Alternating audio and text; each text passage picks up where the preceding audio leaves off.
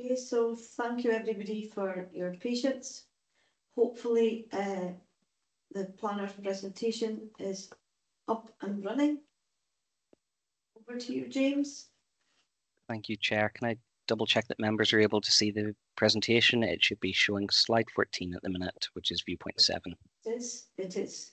Perfect. And uh, just apologies for that glitch there. Um, so yes, uh, viewpoint seven is a minor road near Pitcullen. So this is approximately 2.2 kilometres west of the development site or the nearest turbine um, and is a key view for localised landscape impacts. Um, again, it's the scale of the turbines over the ridge line would be the uh, main feature here. Slide 15 shows viewpoint 8, um, which is um, located 6.2 kilometres to the nearest turbine and is southeast of the development site. Um, and again, it is uh, the turbines are prominent along the extent of the Hill of Fare ridge. Slide 16 shows viewpoint 9, um, and this is 9.2 kilometres uh, from turbine 16. So this is taken from the southeast again. And similar to before, we have the turbines centrally, more centrally this time, along uh, the Hill of Fare ridge. Slide 17 shows viewpoint 10. This is taken from the Garioch area, and this is two kilometres from the nearest turbine, um, which is turbine 16, and is taken from the east. So this is demonstrative of the host landscape character type, and it's a key view for local visual impact upon the Hill of Fare. So this would be similar to the experience of people visiting um, the Hill of Fare location. And we can see the extent of the turbines across um, this locality. Slide 18 shows viewpoint 11, once again taken from within the Garioch area. This is 4.2 kilometres northeast of the nearest turbine um, and is a key view for local landscape impacts. So similar to some of those that you've seen before, um, we have the extent of the development across the centre of the Hill of Fare Ridge. Slide 19 shows viewpoint 12, and uh, this would be approximately seven kilometres north of the nearest turbine. And um, we can see um, the existing landscape, the theoretical visibility of the turbines highlighted in red, and the photomontage on the bottom there. And we can see that um, from uh, this viewpoint, there is existing landscaping, which provides a degree of screening for um, at least two of the turbines. Slide 20 shows viewpoint 13. This is 8.4 kilometers northwest of the nearest turbine, which is turbine 4, and this is a key view for local visual impact upon surrounding hills. Um, we can see that there is some presence of wind energy already within this location, but the introduction of it along the ridgeline is a new feature. Slide 21 shows viewpoint 14. This is 9.8 kilometers from turbine 5 and this is taken from the southwest it's another key view for local visual impact upon the surrounding hills and once again it is that introduction of wind energy along the ridge line which would be the predominant feature at this location Slide 22 shows viewpoint 15. Uh, this is of less relevance to us as a local authority, but it's included for completeness. This is actually taken within the City Council um, area, um, but does show um, how this fits within the wider mm. landscape. It, as a more distant view, um, the impact is perhaps lesser at this location. Viewpoint 16 is 4.7 kilometres uh, from turbine 15 and is taken from the west of the development site. Um, and again, this is perhaps a reasonable example of existing land, land cover um, landscaping providing a degree of screening, but the turbines are um, rather evident at this location. Slide 24 shows viewpoint 17. This is 3.9 kilometers from turbine 5 and it is taken from the southwest. Um, again, much as before, it is that uh, prominence of the turbines over the ridgeline that would be notable at this location. Slide 25 shows viewpoint 18, um, which is 7.2 kilometers to the west of the nearest turbine. Um, and again, much in the same way, the visibility along the ridge, which is the common factor amongst many of these viewpoints. Viewpoint 19 is um, 4.8 kilometers to the south, and once again, it is the scale of the turbines. Viewpoint 20 is taken from West Hill, so one within the Garioch area. This is approximately 11.5 kilometres from the nearest turbine, so, and this is taken from the northeast of the development site. Um, on the wireframe, we see that within the wider landscape, the turbines are generally visible, and within the photo montage, we do see the turbines over the hill. Um, I would pay attention to the scale of them against the um, surrounding landscape, but we can't see that there is energy infrastructure already visible in this location through the overhead lines. Viewpoint 21 is 9.3 kilometres um, from the nearest turbine and taken from the northeast. This is within the Garioch area. And again, it is that introduction of wind energy along this ridgeline. Well, I suppose more extending the influence, there is theoretical visibility of Fetteresso Midhill 1, Midhill 2.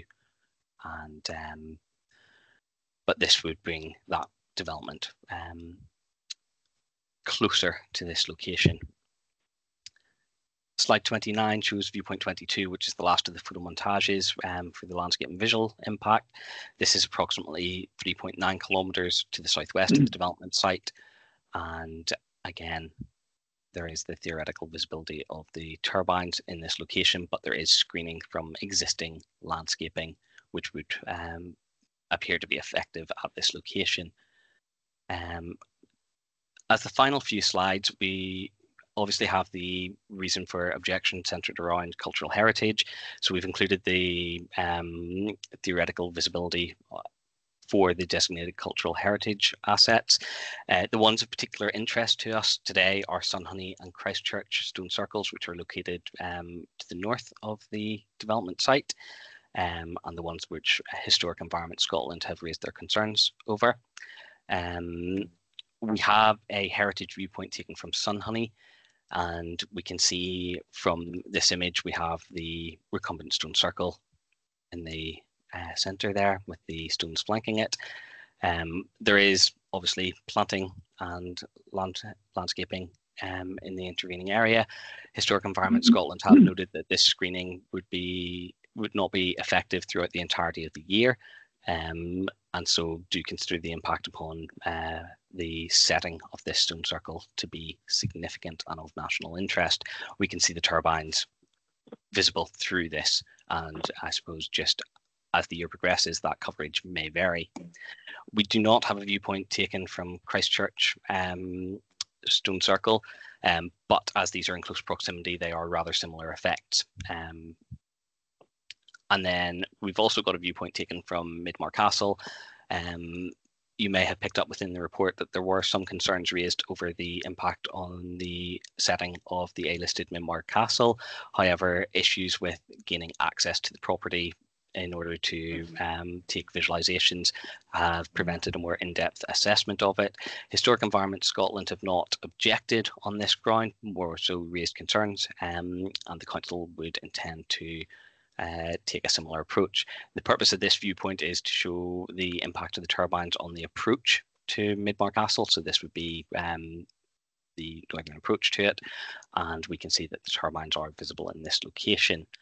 Um, now that concludes the presentation by way of updates. As I did mention earlier, um, additional information was submitted by the developer at the start of September. The council has been consulted on that, but due to the nature of the information, uh, we are largely reliant upon key consultees, SEPA, NatureScot and Historic Environment Scotland responding before we can take a clear position on how that interacts with our reasons for objection as per the report, we would seek to use delegated powers to um, resolve these issues if the consultees remove their objections. But I will leave that there. Thank you for your patience and um, apologies for the interruption in the middle of this. And I will be happy to take any questions at the appropriate time. Okay, thank you, James. So it's now over to councillors uh, to see if you have any questions for the planning officer. Councillor Longchamp, please. Thank you, Chair. Good morning, James. Thank you for the presentation. I got two questions for you. The first one is with regards to slide two, which is in fact shown on the, on the screen at the moment. Am I right to understand that the development proposed is thereabout or more than 50% of the Midmar forest, which it would affect? I do not have that calculation on the top, off the top of my head, so I wouldn't be able to confirm that one way or the other. Um, but we can see Midmar Forest obviously located on this slide. Um, the development site itself isn't completely wooded, I would say. Um, there are, are areas of open heathland, and um, for completeness, I would highlight that um, forestry consultation has been undertaken by the Energy Consents Unit as part of this um, proposal. Okay, thank you. The second one is, uh, I understand as well that the MOD had uh, entered a representation, an objection. Have they uh, withdrawn it? So to be clear, our position on this was um, when the report was prepared, we had not seen a response from the Ministry of Defence. Nothing had been uploaded on the Energy Consents Unit website. Um, in the throughout the committee process and in preparation for today, a response has been uploaded to the Energy Consents Unit website, where the Ministry of Defence has clarified that they do not hold an objection to the proposal, right. subject to conditions being attached in respect of aviation lighting and notification of um, the works being undertaken to erect the turbines. Okay, thank you. Okay, uh, thank you. Councillor Grant, please. Thank you, Chair. Thank you, James, for the presentation. Just a, a few sort of more sort of general questions. Um, 16 turbines, 180 uh, meters and 200 meters. Presumably, the height is based on you know the height of the hill, so the the the, the taller ones will be in the sort of slope sloping parts of the the hill. I couldn't quite make out from the the blue and pink on your map. Um, and it mentions seven out of the 16 would require aviation lighting. I just wondered why it was just just the seven there.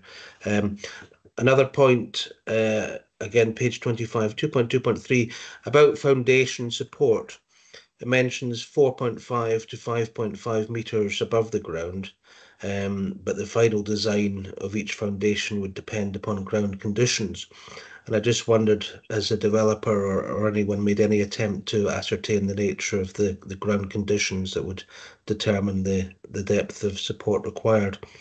Um, page 27, um, 2.5.2, 2.5.3, um, there's mention that the the uh, uh, sorry the Electricity Works Regulations 2017 states that the the EIAR, if I can get it right, must contain a description of reasonable alternatives uh, and then in the next paragraph, it mentions that this hasn't been given. And I just wondered how much, you know, to, to what degree this affects the, the validity of the application. Presumably, it hasn't made too much difference since we're um, considering it today.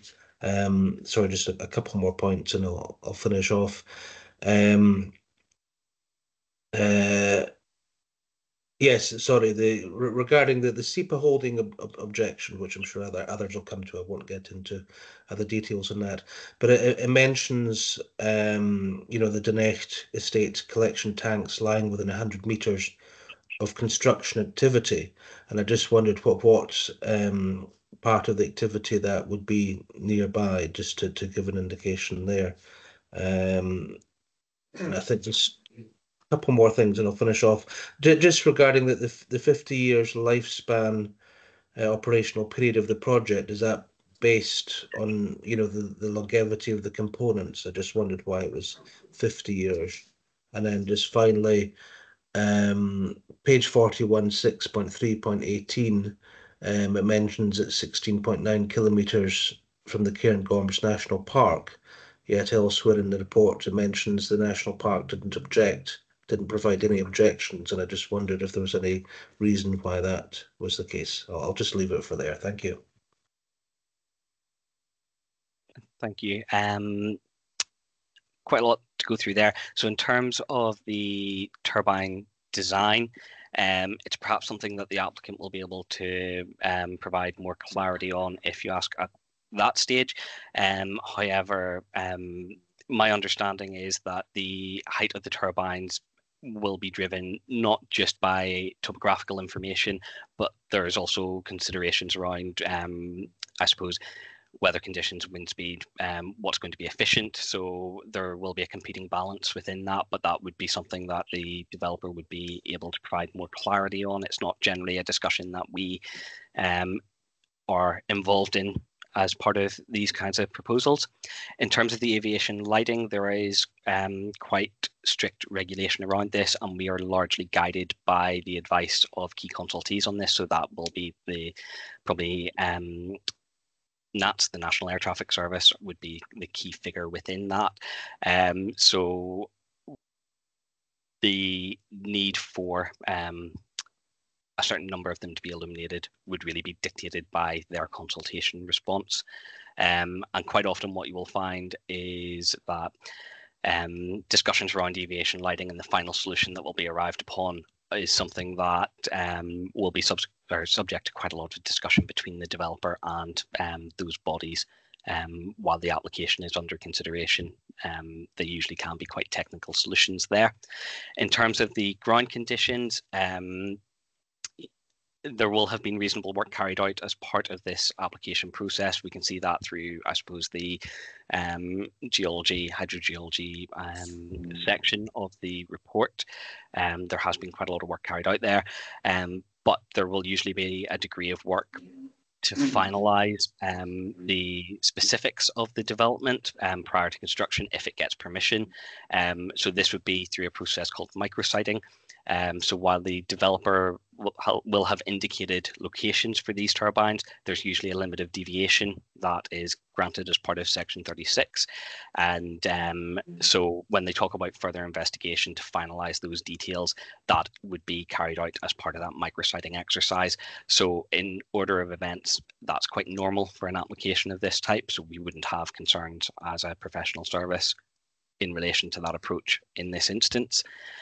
Um, with regard to alternatives, it's always quite a tricky one to address. Um, the EIA regulations do require consideration of alternatives. There can be differing views on this, whether you know it's different configurations on this site, um, which is generally how this is looked at. So we can see that the um, start of the report does talk through the design iterations that have been um, considered by the developer.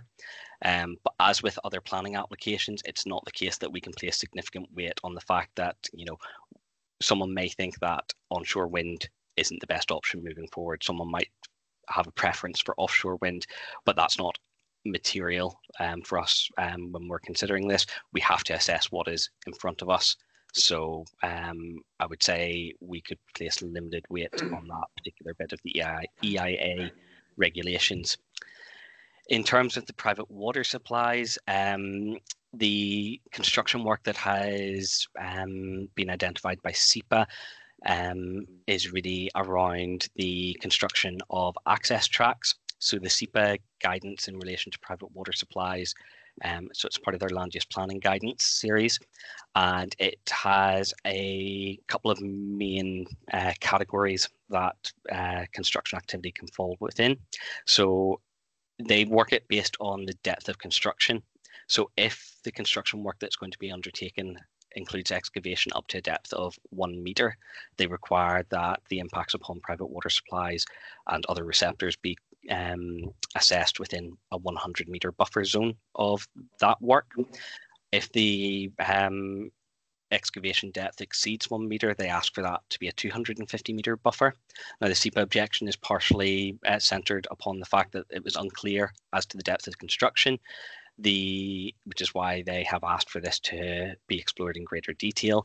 The additional information has confirmed that this construction depth would be um, under one meter, so the 100 meter buffer applies. Um, but it would generally, in terms of that construction activity, it would be the construction or upgrading of access tracks, as I understand it.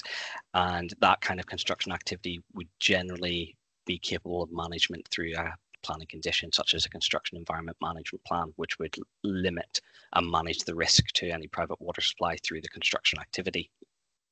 In terms of the lifespan for the development, the applicant has uh, proposed a period of 50 years. Uh, really, it's up to the applicant to propose um, whatever lifespan they want for development such as this.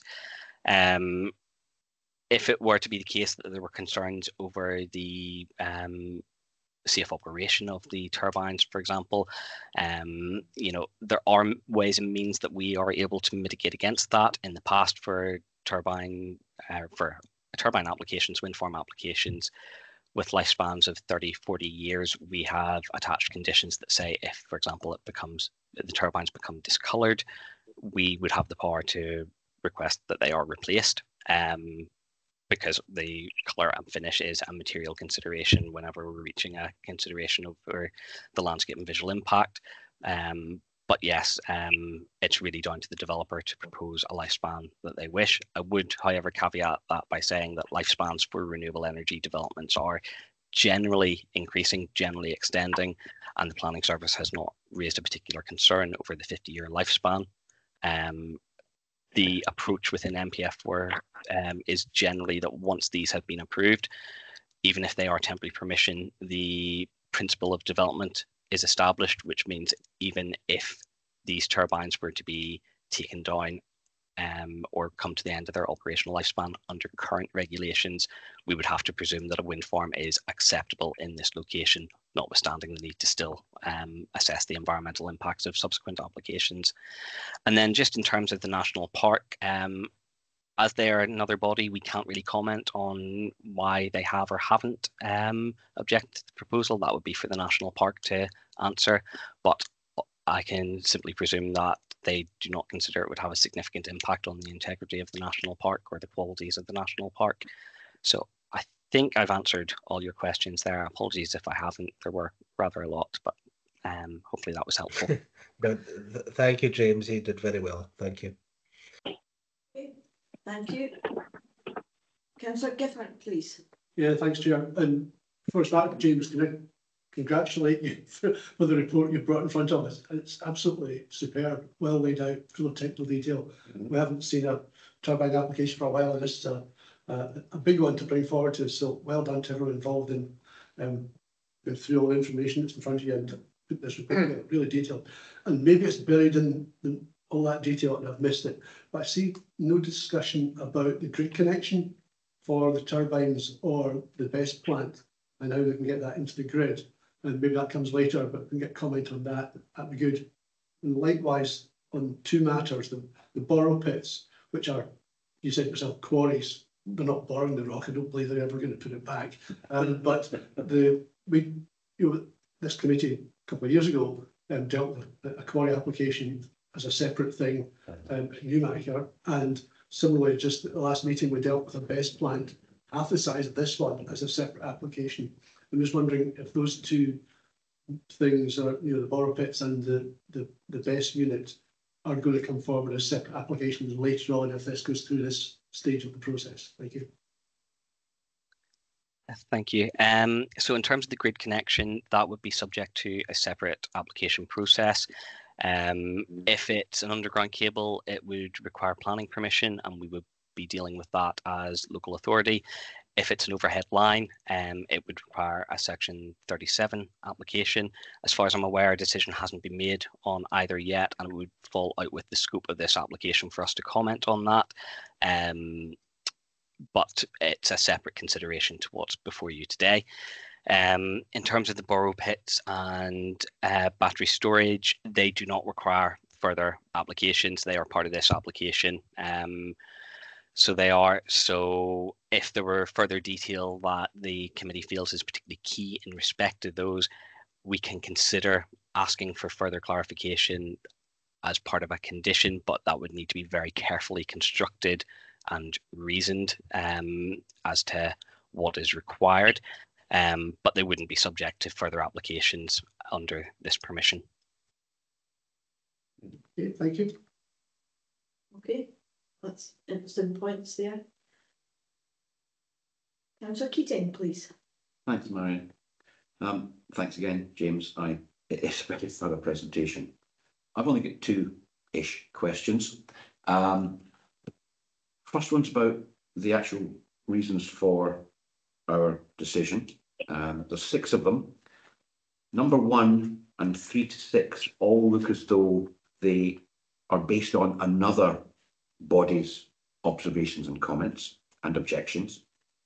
And I think I'm right, you're asking for delegated authority if those objections are withdrawn to, to um, then for withdraw our objection on that bullet point. So my question is, how many of those bodies are direct consultees of the ECU? And for those that are direct consultees, why are we essentially repeating their objection through our objection, if you like?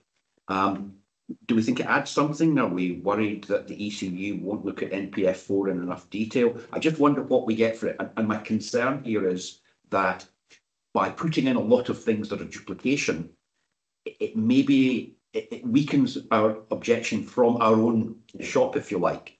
So I think that's my first question. And, and then picking the one objection I think is absolutely within our competence, if you like, or completely our decision, which is number two. Um, thank you very much for the photo montages. They were really helpful and, and it got you got your eye in. And I could see they, they were going around 360 degrees of the of the ridge line, so I could certainly see that as a, a key point. But I'm also kind of conscious as I drive around Scotland, I see quite a lot of things that looked very similar that have planning permission and are up and, and operating.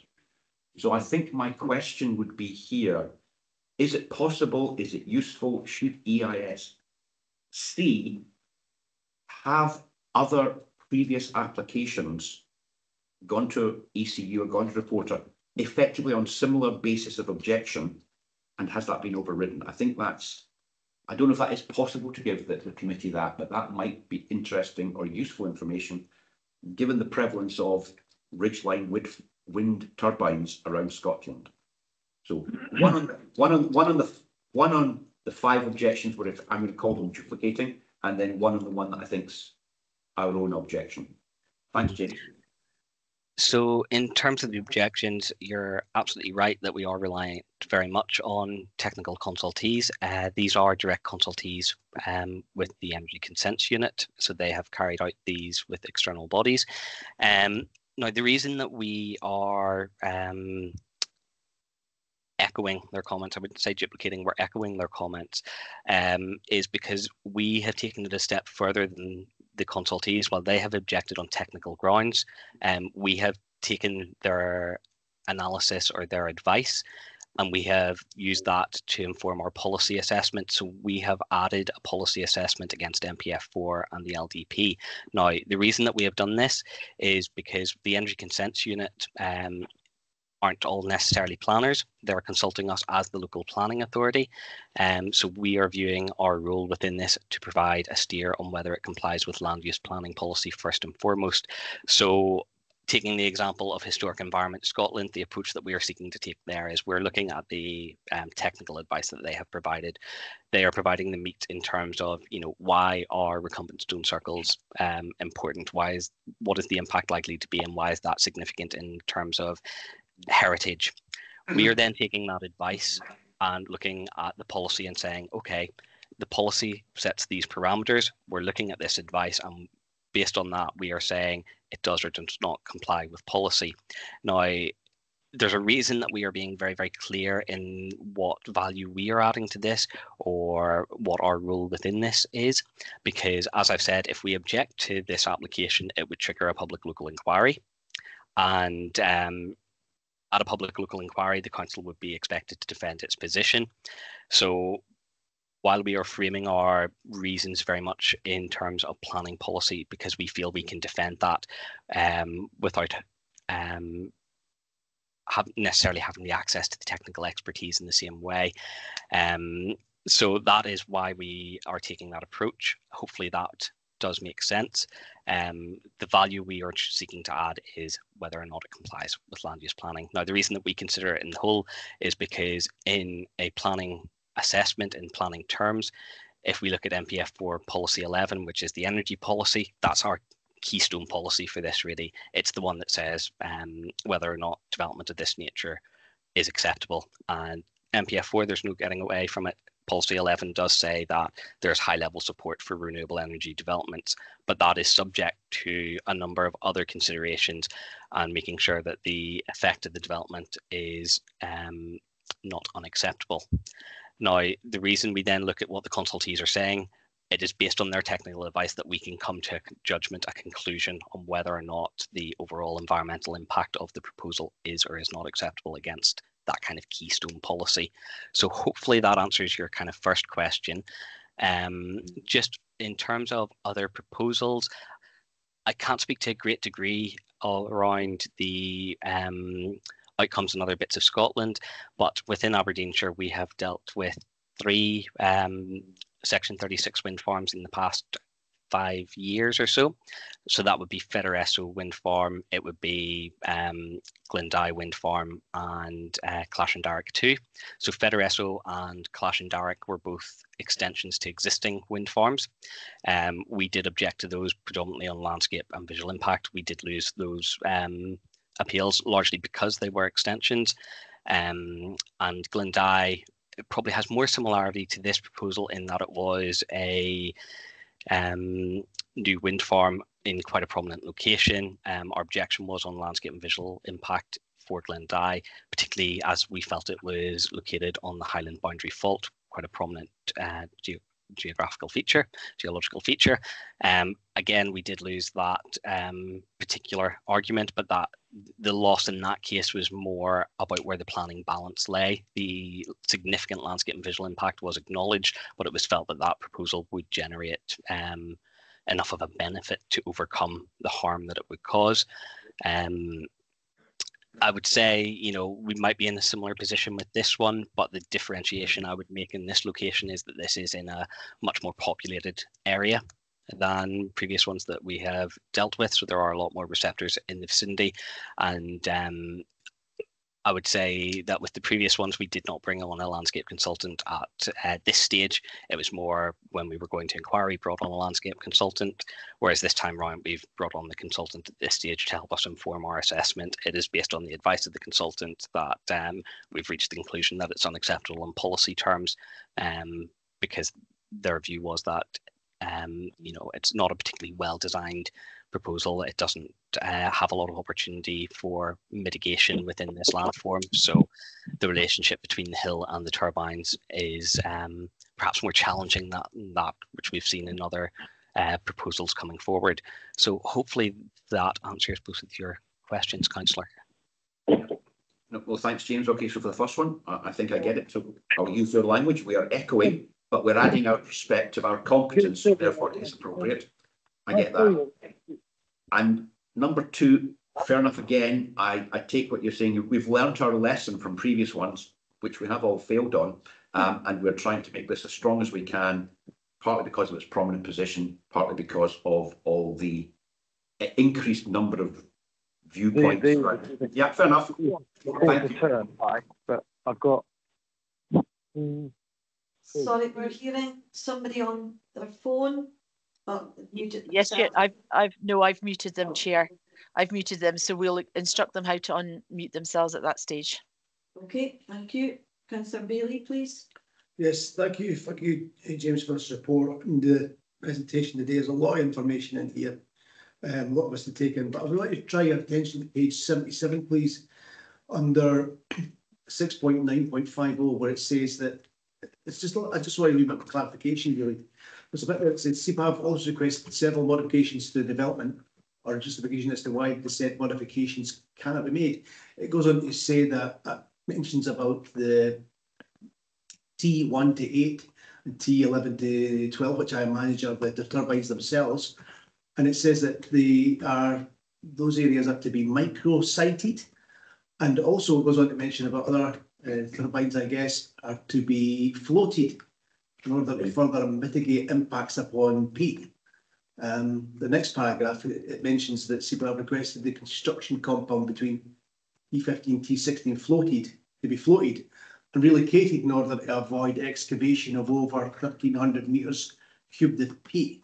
I was just wondering if you could really expand a wee bit upon what those terms mean about the floated and microsited, what they actually mean. It doesn't really go into any great detail what that significance is within the report. Uh, so micrositing refers to a process whenever they get to, um, I suppose, a more detailed design stage. So what we'll find with a lot of these projects is um, if they successfully get permission, the permission will include a condition that says that they have a micrositing um, limit. And this, if you can think of this as kind of um, a limit of deviation. So there would be um, a perimeter drawn around the location of each turbine and in theory the turbine can be situated anywhere within that the purpose of micrositing um, is to ensure that they can carry out more detailed site investigation once they have um, their permission and they can seek to further minimize the environmental impact. Now, it's most commonly used for things such as peat. And what you'll find is once they get their permission and they do their site investigation, um, they'll be able to do it in a lot more detail. Um, and they will, um, for example, um, look to avoid areas of deeper peat that become more apparent through that further investigatory work.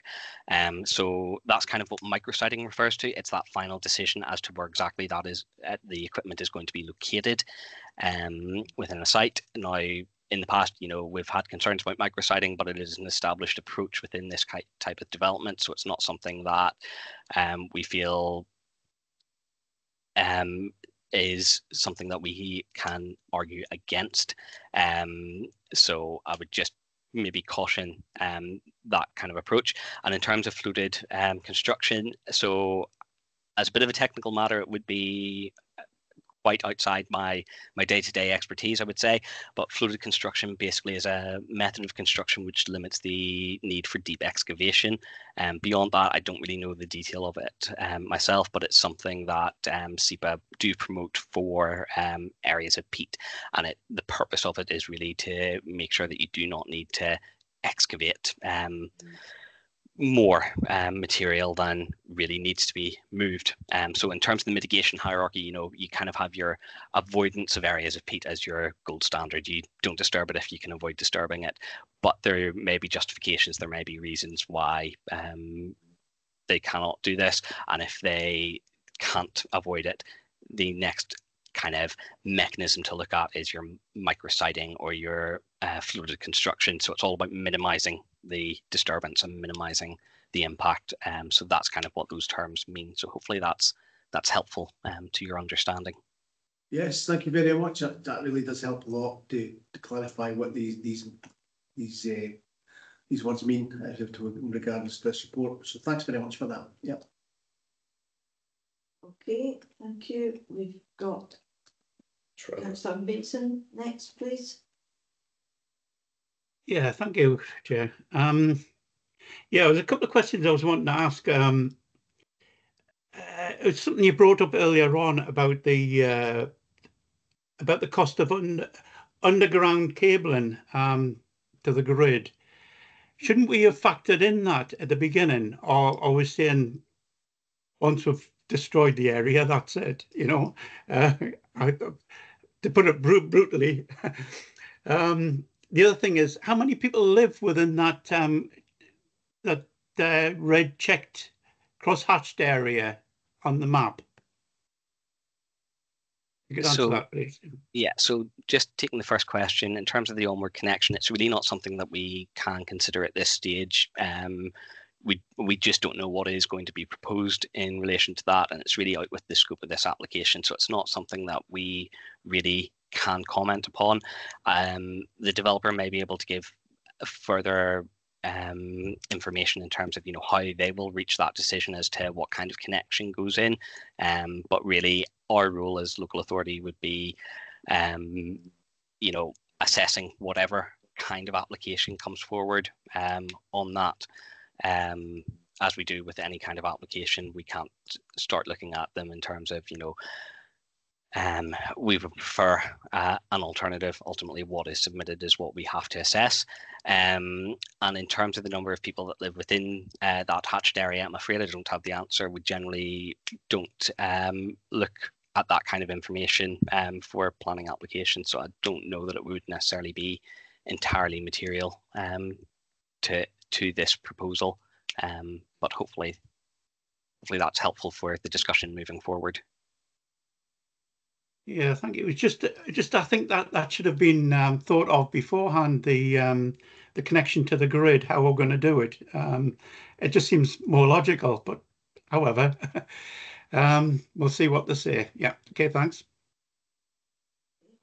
No. Just to be clear, that might be a question for the developer when uh, when the applicant speaks. Councillor Mason, you could maybe ask him. Yes. Yes. Thanks. Councillor Grant, please.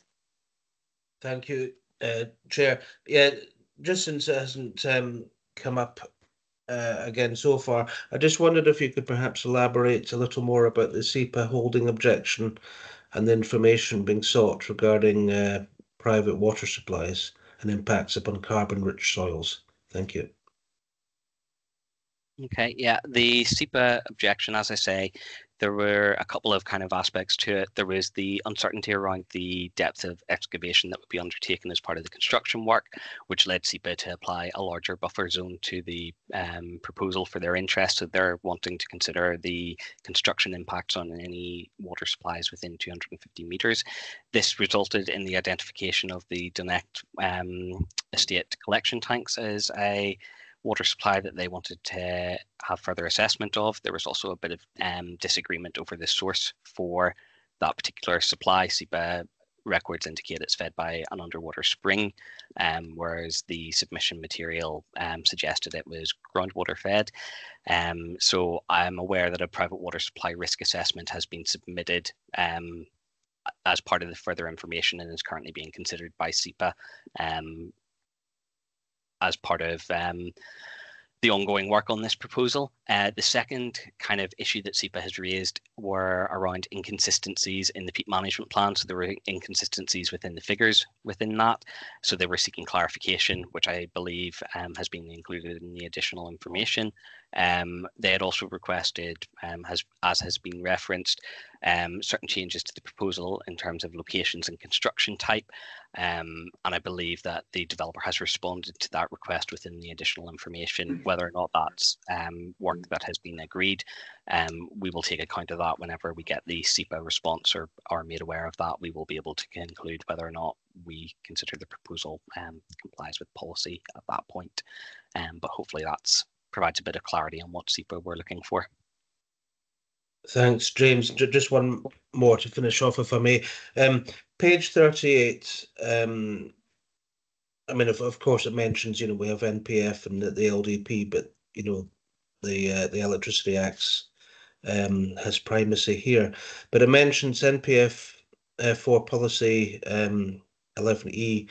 Uh, it is quoted as mentioning where significant landscape and visual impacts are localized, they would generally be considered to be acceptable, um, you, you know, and, um, uh, in terms of providing infrastructure. Um, who determines, you know, what is acceptable uh, and under the term localize? Is that purely within the remit of the ECU? So they could determine, you know, assuming they were following the NPF policy, that these impacts, you know, are, are sufficiently uh, localized that they don't, you know, form any legitimate issues in terms of knocking back the, the application. Thank you. Uh, so you've managed to hit upon probably the million dollar question at the heart of all this. Um, it's a very difficult one to answer um, because landscape and visual impact is normally a core part of any public local inquiry in relation to these proposals, and there's usually a lot of um, quite detailed argument about the exact nature and extent of the um, impact and whether or not it is localized. The localization of it really does depend upon professional judgment, um, I would say. And in each case, it will be slightly different depending upon the surrounding landscape topography, um, for example, pattern of development. Um, so it is very, very difficult to provide a more detailed answer. That is partially why we've brought on the landscape consultant at this point to get that kind of view. Um, and I would say that if you look within the landscape consultant's comments, which were appended to the report, um, they do not consider the impact to be localized. Now, in terms of how that factors into decision making moving forward. if a public local inquiry is called for this application, which under the current rules it would be if we object, um, effectively the case gets transferred from the Energy Consents Unit to the Directorate of Planning and Environmental Appeals. Um, so the people that deal with um, planning appeals, um, a reporter would be appointed to head up that inquiry, and they are usually a professional with quite significant experience within planning or related fields. Um, and as part of that, they hold the inquiry, they hold the inquiry sessions, the hearing sessions, they consider the evidence, and they produce a report which is um, given to ministers who ultimately make the decision. So it would be the professional judgment of the reporter as a an outcome of the inquiry process, which would ultimately determine the localized impact or not in this um, case. So um, it's a very good question, and I'm afraid I don't have a very succinct answer for it, but hopefully that provides a bit of illumination as to the uh, process moving forward. Thanks, James. Yeah, I mean, and amidst all the the other detail contained within the report, it did, it did just strike me as something that uh, could be open to interpretation. But thanks for the answer. Okay, thank you. Any more questions for James from members? No. So in that case, uh, thank you for now, James. And we'll invite uh, Mr. Shirley to address the committee. Good morning, everyone. Can you hear me okay? Yeah, we can hear you. I will just get the timer set um, so we can stick to our five minutes. Okay, shall I set off now then? Yes. Oh, super. Um, yes, my name is Gavin Shirley. I'm a Senior Development Project Manager at RES. RES is a British company formed in the early 1980s and is the world's largest independent renewable energy company. Our Glasgow office is the global centre which manages operational projects around the world. In Aberdeenshire, we developed and built Glens of Foudland wind farm to the southeast of Huntly in 2006 and Meikle Carewe wind farm just north of Stonehaven in 2013. The Meikle Carewe project was one of the first projects to offer our local electricity discount scheme, where local residents receive annual payments towards their electricity bills from the wind farm. With regard to the current Hill of Fare proposal, as James noted earlier, reasons three to six are technical matters which can be addressed. The additional information uh, we submitted on 30th of August, and we expect will resolve all those points of objection. With regards to points of objection based on landscape and cultural heritage, there doesn't seem to be a lot of difference in our assessment of the scale of effect. It appears to be more a question of the acceptability of those effects in the planning balance. The site itself has excellent wind resource. It is not located within any designated area. There are residential properties in the surrounding area, but there are more than adequate setback distances from properties to limit the potential adverse impact on residential amenity, including noise, for which the project has been designed to operate under accepted conditions. The proposed turbines are average size by today's standards and operate best on exposed windy sites. These are, of course, visible, but that doesn't mean that the proposal is either unacceptable or badly designed. Although there could be visibility, Moray Council, Cairngorms National Park Authority and Aberdeen Council have raised no objection. Council's own landscape advice agrees that the proposal has been designed so that it won't impact on the qualities or integrity of the Dee Valley Special Landscape Area. Regarding cultural heritage, our assessment considered a total of 105 designated cultural heritage assets within 10k proposal, of only of which only two were found to be moderately impacted by the development. HES objection relates to the impact on the setting of two stone circles, Christchurch and Sun Sunhoney. Splitting of Christchurch Stone Circle at Midmar has already been impacted by the church and graveyard developed next to it. It's also quite interesting to note that Sunhoney doesn't feature in the council's own top 10 list of circles in Aberdeenshire in 2022. Furthermore, views to and from the circles are already shaped to a greater or lesser extent by existing planting. As part of the application, we are proposing enhancement to Sunhoney through improved access and signage. If consented, the project will be built out in compliance with the planning conditions that would be attached to that consent and as per construction good practice On-place methods such as blasting to break up surface rock for construction is likely and has been assessed for its pressure waves, not significant or would be limited in duration. Private water supplies have been assessed and following the implementation of mitigation measures. All potential impacts are considered to be of low risk, meaning risks are unlikely, with a slight change in water supply predicted over very short timescales and within the bounds of normal supply variation. Baseline surveys and environmental clerks of works would monitor the situation during construction. The Hill of Fare is an open heather moorland with commercial plantation. The heather is interspersed by bracken and self-seeding conifers, a requirement of national policies for biodiversity enhancement, not just management and mitigation. Part of the biodiversity enhancement that the proposed development offers includes actively controlling the spread of bracken and self-seeding trees. The enhancement plan also includes the restoration of degraded peat on the site. Some felling will be required for the proposed development, and we have agreed with Dunecht estate to not only replenish those trees felled, but also provide additional riparian planting up to a total of 42.8 hectares on the site itself, which Scottish Forestry supports. There was an article in The Guardian this month that reported on data by independent energy think tank Ember, demonstrating that clean electricity is delivering for the UK. Building more wind and solar is the fastest way to bring more energy security with lower costs for consumers and less reliance on global fossil markets for gas and coal. Sorry, Mr. well- you've only got twenty-seven seconds left. Oh, okay. The proposed development has been assessed using industry standard calculator by SEPA and indicates it will repay its carbon debt in approximately three years.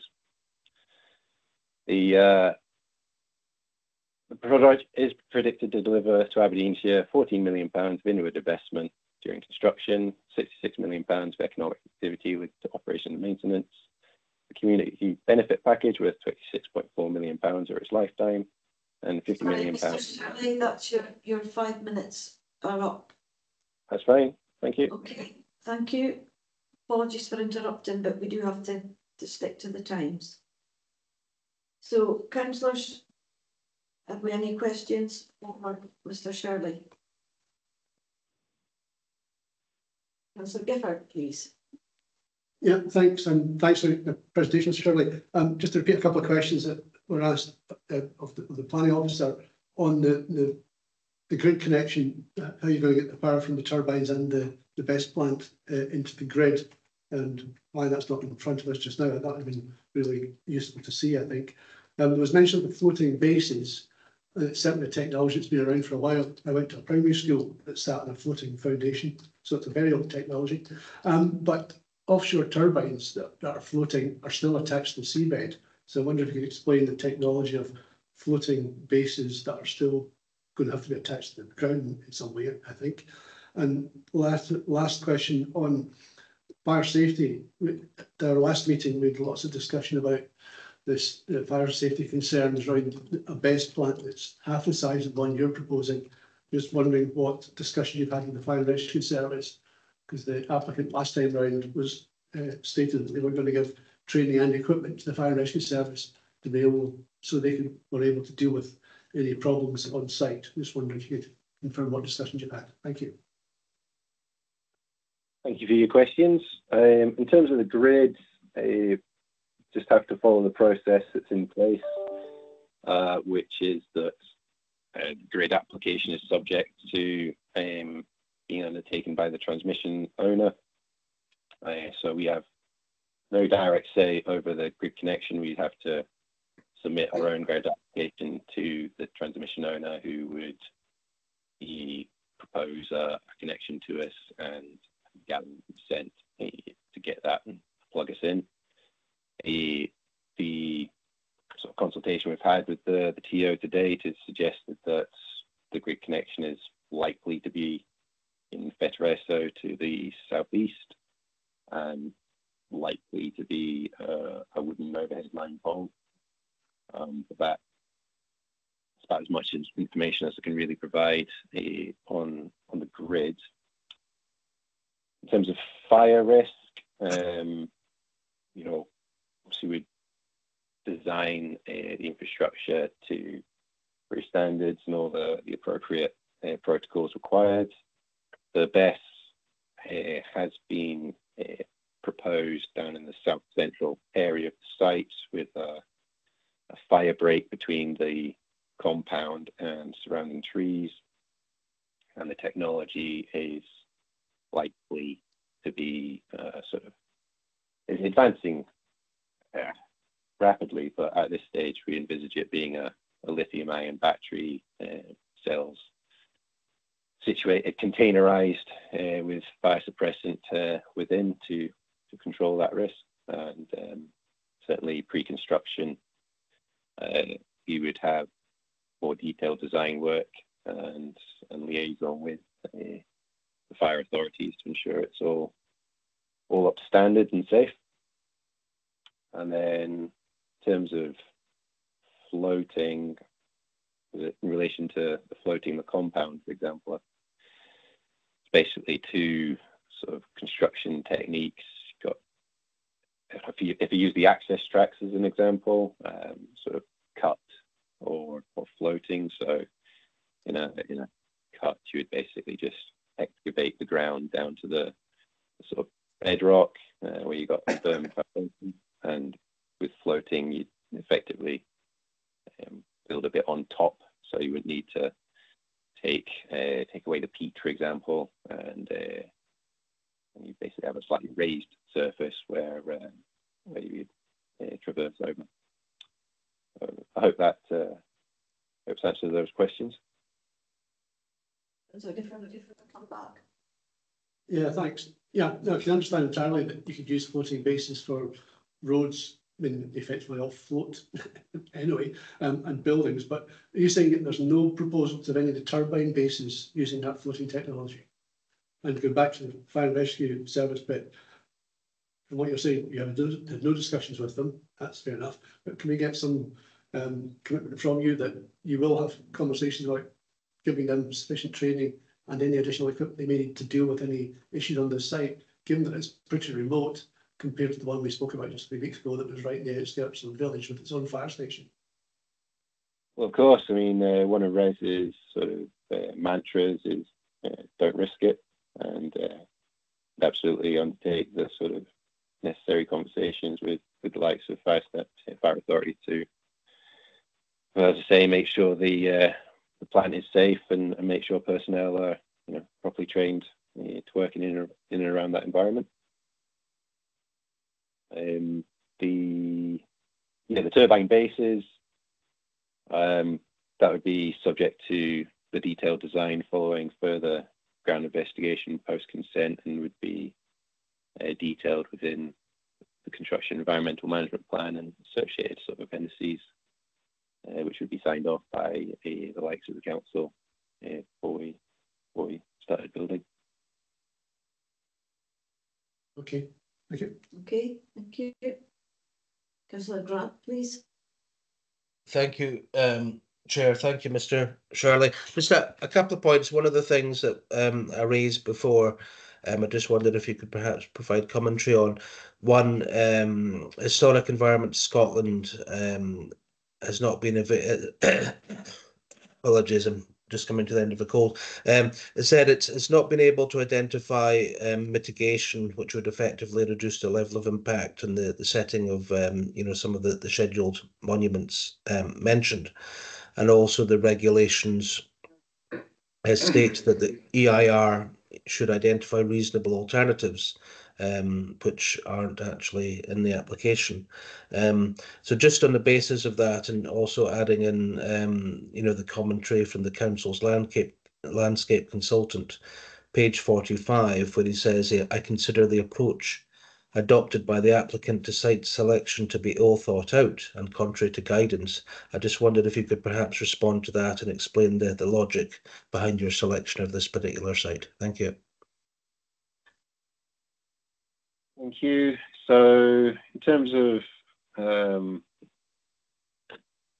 the landscape architect, the council uh, site selection, um, the alternatives within the EIU um, James did uh, talk about this diligently amongst other questions he answered. And in terms of terms of those regs and the alternatives, typically speaking, uh, the onshore wind uh, proposals address this directly through uh, the, the iterative design process that is set out uh, in great detail in the EIA report.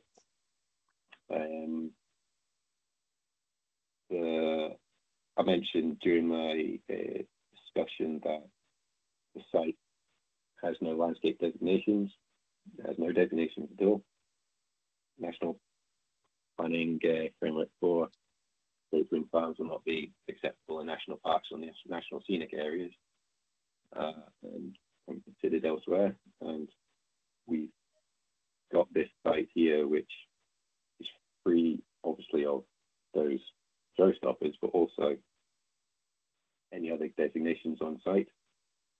And we've worked hard to refine the design of the project in terms of reducing survey numbers, reducing heights to make a valuable project that's still uh,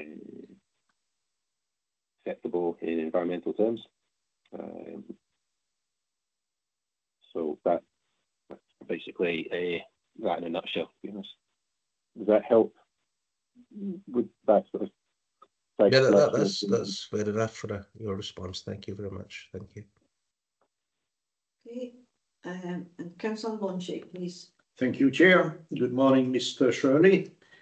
Uh, I got one simple question for you. What direct benefits do you see, first of all, to the local communities, and secondly, to Scotland, Scotland at large with this proposed development? Thank you. Thanks for your question. Uh, so, public access will be improved to and across the site. Uh, we'll make a permanent public car park out of the temporary compound on the east side. Access to the Hill of Faery a bit limited, and that will certainly save people sort of parking on the opposite side of the road and coming across and be much safer. And then, of course, we've got the additional wind farm tracks, which will be usable by the public, moving access across. I mentioned the enhancement to the cultural heritage features, uh, linking up uh, some of the assets and uh, better signage there. Our socioeconomics uh, within the planning sustainable place statement concluded that the project will maximise net economic impact. And I mentioned a, those figures, uh, such as 50 million pounds in business rate over the operational lifetime, a the community benefit package worth 26.4 million pounds over, over its lifetime. Uh, there'll be things like it'll be up to the community what they want to spend that on. Uh, but there's things like the local electricity discount scheme uh, where people get tangible uh, benefit in terms of a discount to their electricity, for example. The biodiversity enhancement I mentioned in terms of actually improving uh, biodiversity on the site there. The, uh, the carbon balance, you know, we'll have, we've made use of the industry standard calculator by SEPA and we'll repay our carbon debt in approximately three years. Um,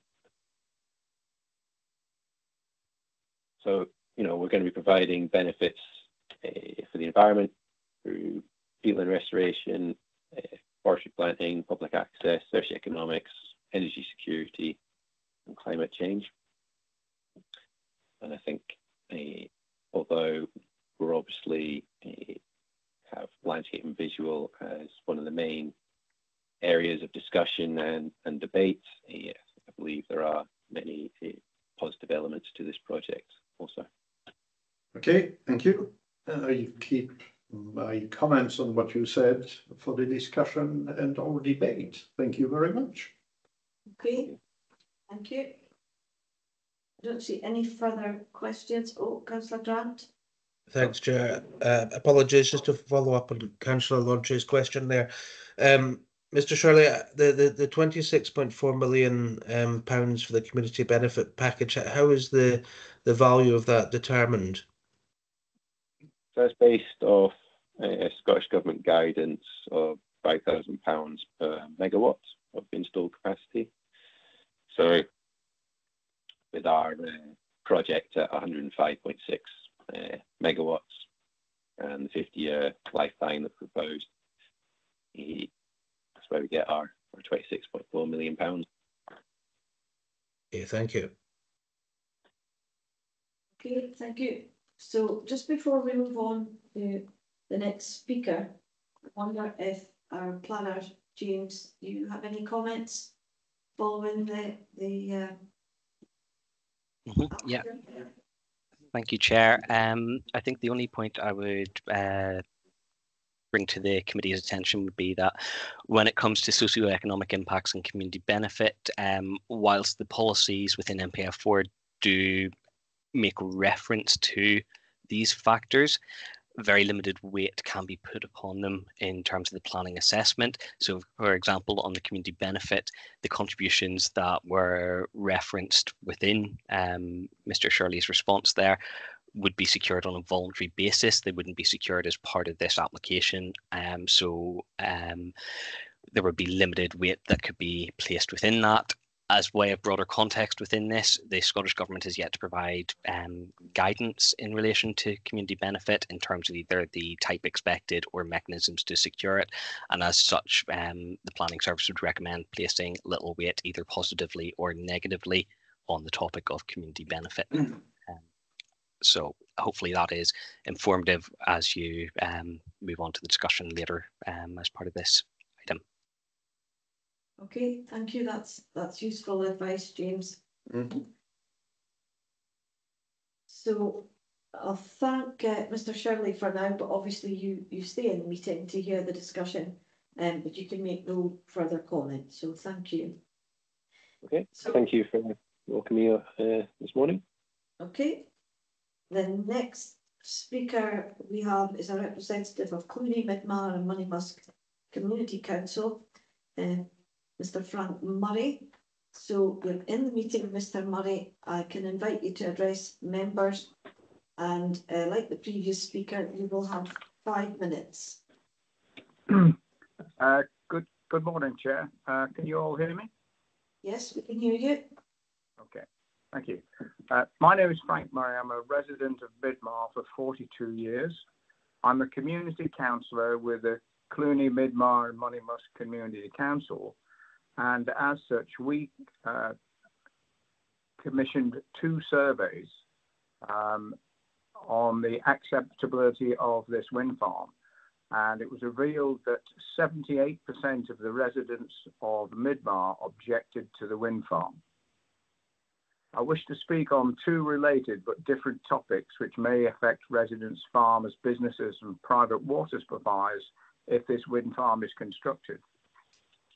There are circa 300 people, 150 homes, farms, and businesses that are totally reliant on pure drinking water from the Hill of Fare. West of Echt, there is no mains water to the outlying areas. Loss of water could be catastrophic. A British Geological Survey titled Vulnerability of Groundwater to Pollution and Drought classified the Hill of Fare as a highly vulnerable area. The Hill of Fare consists of igneous rocks, 430 million years old, very hard, impervious to water, and only holds water in the cracks and fissures between the rocks. RES plan to use explosive blasting to create borrow pits, which are actually quarries, and estimate three blasts per day, six days a week for six months as an estimate. This will create new fissures and new cracks, risking and altering the water flows to existing springs, falls, and wells. The construction of the roads, crane hard standings, turbine foundations, buildings, battery storage, and will require removal of the overburden, which is the soft carbonaceous materials, trees, heathers, grasses, peat, which acts as a giant sponge and a filter. It regulates the water flow. Stripping off the overburden exposes the underlying rock cracks and fissures to pollution from mud, silt, and allows microbiological contamination to increase. the possibility of fuel and lubricating oil contamination. There is empirical evidence of this happening at other wind farms, for example, Whitelee 2, where microbiological contamination spiked in the private water supplies and public water supplies. In the 1970s, the British Geological Survey mapped the UK for uranium. The Hill of Fare was identified as a prime site containing uranium rich bearing rock. A project to open cast the mine of the Hill of Fare was planned but did not proceed. In 2016, the Scottish Government commissioned a feasibility study entitled the Hill of Banchory Geothermal Heat Recovery Scheme.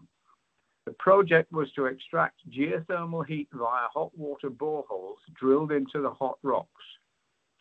Dunecht Estates are specifically thanked for their cooperation in the acknowledgement of this report. The presence of uranium, in the Hill of Fare, has been known for 50 years. RES do not include uranium or its hazards in their environmental impact assessment. This cannot be accidental. This omission is deliberate. Explosive blasting will shatter the uranium bearing rock, which will be mechanically excavated, transported to crushers, crushed to size, and then transported around the hill uh, to form roads, foundations, and hard standings. The crushed rock will be used for batch making concrete for turbine foundations, building foundations, etc. These operations will create uranium containing dusts which will be blown around the Hill of Fare and the Dee Valley Special Landscape Area, polluting the land and the waterways. The operations will also release radon gas. Radon gas will be dissolved into the groundwater and stay in solution until released, poisoning the groundwater. Radon gas is the second highest cause of lung cancer in non smokers and a known hazard in this area. The Chief Planning Officer for the Scottish Government said there is nothing in Scots law to require persons working on their land but affecting others being held responsible apart from civil proceedings. What chances has the individual of success against Dunecht Estates and their RES? I request the committee to object to the farm. I'm sorry, Mr Murray, that's your five minutes up. That's fine. Okay, Thank you. Members, you can now ask questions of the speaker, but I would just point out we've got several speakers, so try and be concise. And uh, if possible, ask your, your questions in one, in one indication. Councillor Launchy, please, your question for Mr Murray. Yeah, thank you, Chair. Good morning, Mr Murray. A pick on uh, your concern about uranium. What is your particular concern with that? Is it radiation or is it uh, heavy metal poisoning? Both. okay, thank you. I thought that, that would be it. Thank you, sir. Okay, that was concise. Councillor Bailey, please. Yeah, thank you, Mr Murray. I was just wondering if you could uh, repeat to us what the information that you, you provided there for your five minutes. You were talking about it was available from a report you'd obtained. What, was that report again, sorry? Uh, there were two.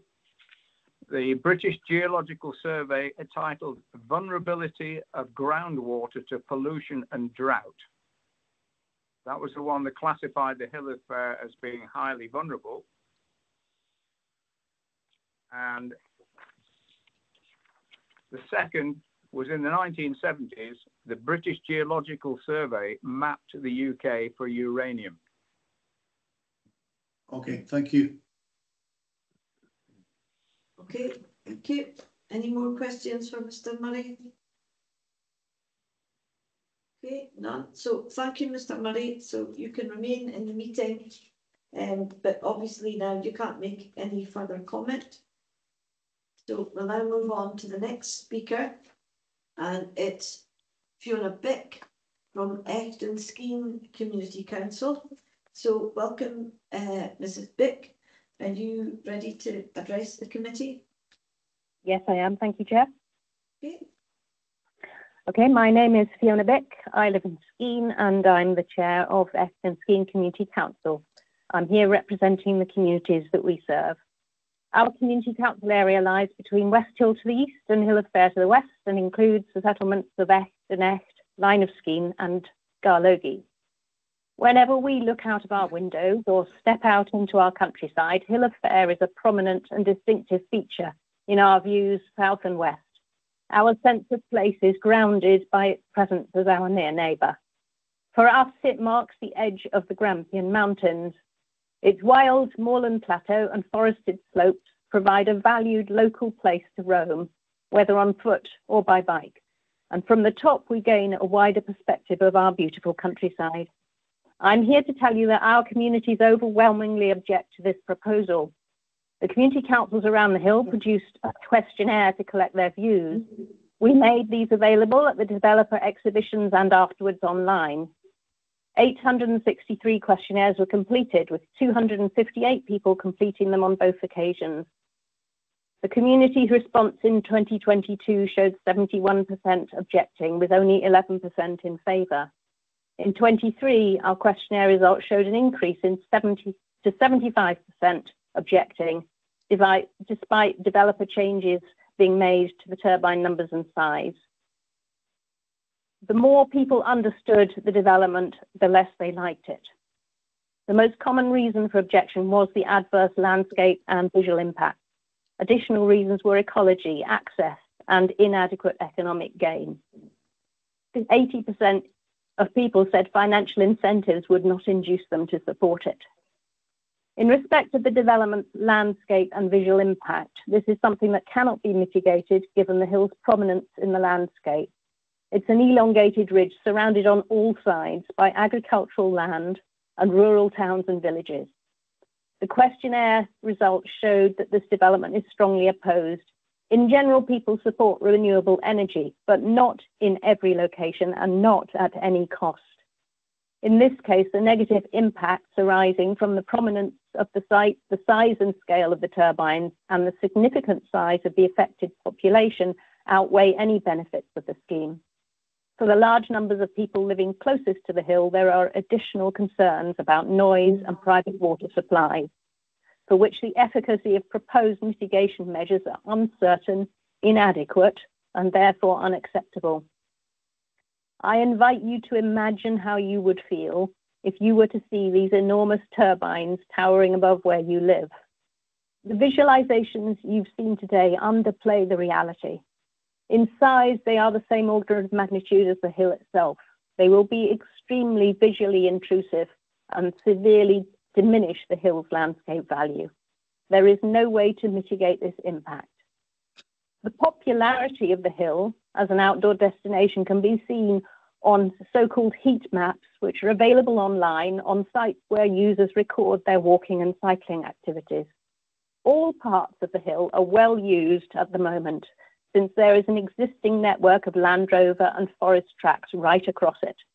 People go there to enjoy the sense of wildness and the wildlife. Meikle Tap at the east end is one of the most popular circular routes but this development will effectively block access during the long years of construction activity. The hill tracks will be made into motorways, and once the cranes, diggers, and lorries have left, the wild qualities that drew people there before will have been destroyed. The Meikle Tap Viewpoint 10 slide you saw earlier has been superseded as it didn't show the access roads, the concrete crane pads, and the battery storage site that will also be prominent in this view. A new visualization is available that includes these features. They make a massive difference. And our communities will not be recompensed. The developer admits the economic benefits in Aberdeenshire during construction will be temporary and minor. During the operational phase, they will be negligible, a few contracts being let for fencing and signage repairs. The so-called community benefit package would amount to less than £50 per person per year if spread across the population around the hill, with no inflationary element. We understand that the ECU has received close to 2,000 representations, and the proportion objecting reflects our own survey results. On behalf of our communities, the Echt and Skene Community Council urges the committee to object to this entirely inappropriate development. Thank you. Okay, thank you, uh, Fiona, and thank you for sticking to the, the time precisely. We just came to an end there. So, any questions from members for Mrs. Bick?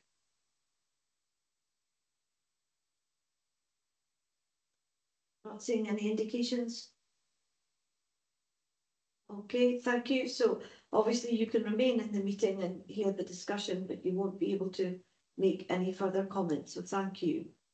Thank you. I'll now invite Mr Jonathan Rose from the Hill of Fare Wind Farm Information Group to address the committee. And Mr Rose, you'll have five minutes. Thank you. Can you hear me? Yes, we can hear you. So I represent Hill of Fare Wind Farm Information Group. Thank you for the opportunity to speak today. I'm going to draw, draw your attention to six points relating to this application. We welcome the balanced nature of the Council report and particularly the recommendation to object. Ofwat was formed in October 22 in response to the RES proposal and has provided information and analysis to the communities around the Hill of Fare. We have carried out community consultations on the proposal and have worked in partnership with others, including community councils. We have always aimed to present the facts to allow people to make up their own minds on the proposal. This has resulted in around 1,500 letters of objection to the ECU, and we believe there are more still to be uploaded to the website. We have commissioned our own independent landscape and visual impact assessment and planning reports from recognised experts and have, sub- and have submitted these to the Council and the ECU. The findings of these reinforce aspects of the Council's report, but there are several points we wish to highlight and a number of questions that are unresolved. The six points are one, landscape and visual impact.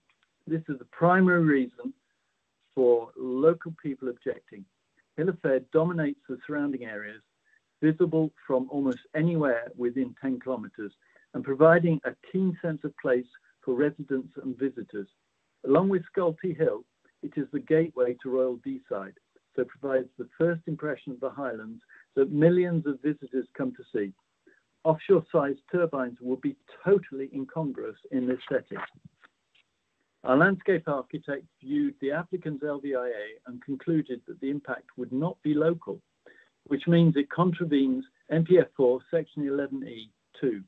Her report also identified significant adverse effects on visitor experience and designated scenic resources such as the Dee Valley Special Landscape Area. Point two, non-compliance with planning guidelines, guidance. This development would be on the top of the hill and along the ridgeline, so would not comply with NatureScot or Aberdeenshire planning policy guidance, which says wind energy developments are not compatible with prominent ridgelines, hills, or sensitive skylines. Point three, impact on people who live nearby. The, hill the area around Hill of Fare is unusually heavily populated compared with most wind farms, with some 141 homes within three kilometres. The height of the turbines and the topography of the area means most of these properties would see the proposal and be subjected to noise and potentially the flicker. Our landscape architect concluded that there will be overbearing effects for a number of residents with between two kilometres and three and a half kilometres. Also, 150 homes in the vicinity of the hill have private water supplies and are at risk of future water flow quality and reliability and of pollution from the uranium and radon these pollution risks were not identified by the developer and result from the high uranium content of the geology. This is an unresolved matter. Point four, biodiversity and nature conservation. NPF 4 sets the nature crisis alongside the climate crisis. The proposal's biodiversity baseline assessment are incomplete, so the protection and enhancement required by NPF 4 have not been demonstrated. This is an unresolved matter. matter. Point five, minimal local economic benefits. RES's claim of up to 150 million boosts to the local economy from the development are unproven and misleading. The EIA report states The socio-economic impacts during construction and operation were assessed as minor or negligible beneficial in Aberdeenshire and Scotland. Point six, the carbon calculation. Ofwat consulted with an expert on these types of calculations who considered RES's approach using an out-of-date calculation, even though it's an industry standard right now, is fundamentally flawed. UK grid is rapidly decarbonising, which the old industry standard assumes does not happen. So the construction emissions will likely never be paid back by the low carbon power produced. It doesn't have enough time. This development will not benefit climate change. And in conclusion, the Hill of Fare wind farm development would have no significant economic benefit to outweigh the detrimental landscape and visual impact and the risk of significant harm to health and well-being of nearby residents. This is the wrong development in the wrong place. Sorry.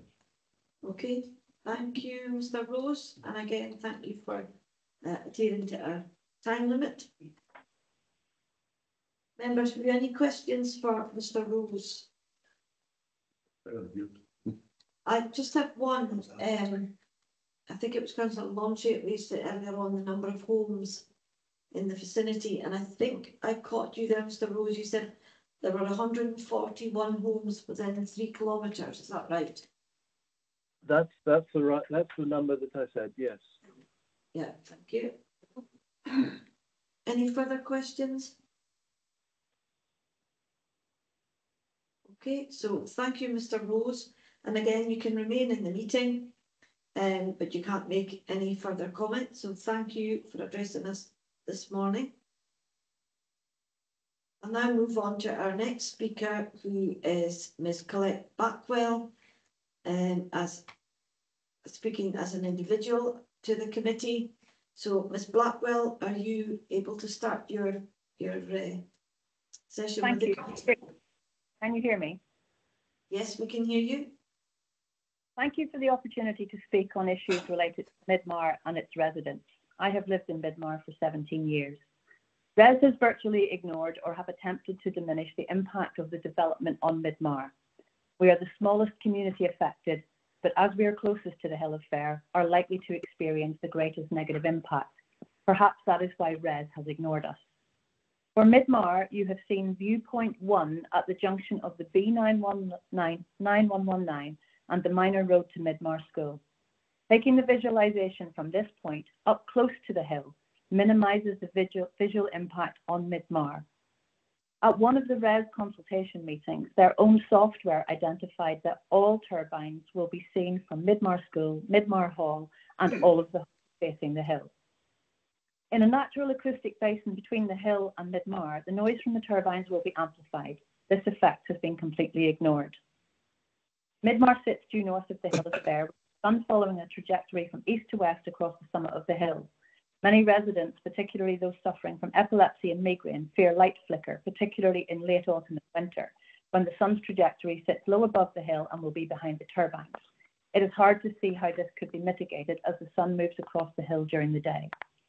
Turning to cultural heritage, in Chapter 7 of the EIS, RES attempt to minim minimize the archaeological significance of Midmar and Sunhoney stone circles by selectively interpreting and downplaying current theories as to their use.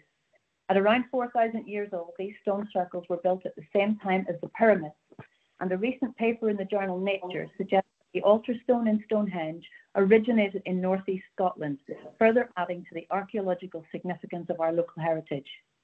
I want to put it on the public record that we are deeply concerned about the complete lack of local democracy in the decision making on industrial energy developments of this scale. Birds, wildlife, peats, archaeology, the environment, and even tourists all have statutory bodies protecting their interests. We, as local people, are dehumanized, described as receptors, not people, and have no statutory body to represent us, no voices other than our own. We have been repeatedly told during the past two years that you cannot listen to us, that we must address our concerns to Scottish ministers. But we elected you as our local councillors to represent us. All six community councils engaged with us have surveyed and supported us. and I would urge you all, as our elected representatives, to reinstate our local democracy by strongly objecting to this application. These are the words of local people. After 47 years enjoying this special place, I am devastated to think of it being trashed by turbines. No dark skies, birds killed, peat destroyed, replaced by concrete. It's so stressful and upsetting, continuously trying to get the powers that be to understand how we feel. The hill is such an intrinsic part of my home and life here, providing a constant source of well-being and nature. The thought of this stunning landscape being destroyed by industrialization is truly heartbreaking. We feel helpless and ignored. We cannot believe that decision makers are so unaware of the science and are prepared to accept flawed energy policy. This upsets me grateful. Would each of you want to open your curtains every morning to see these monster turbines? And what of our culture?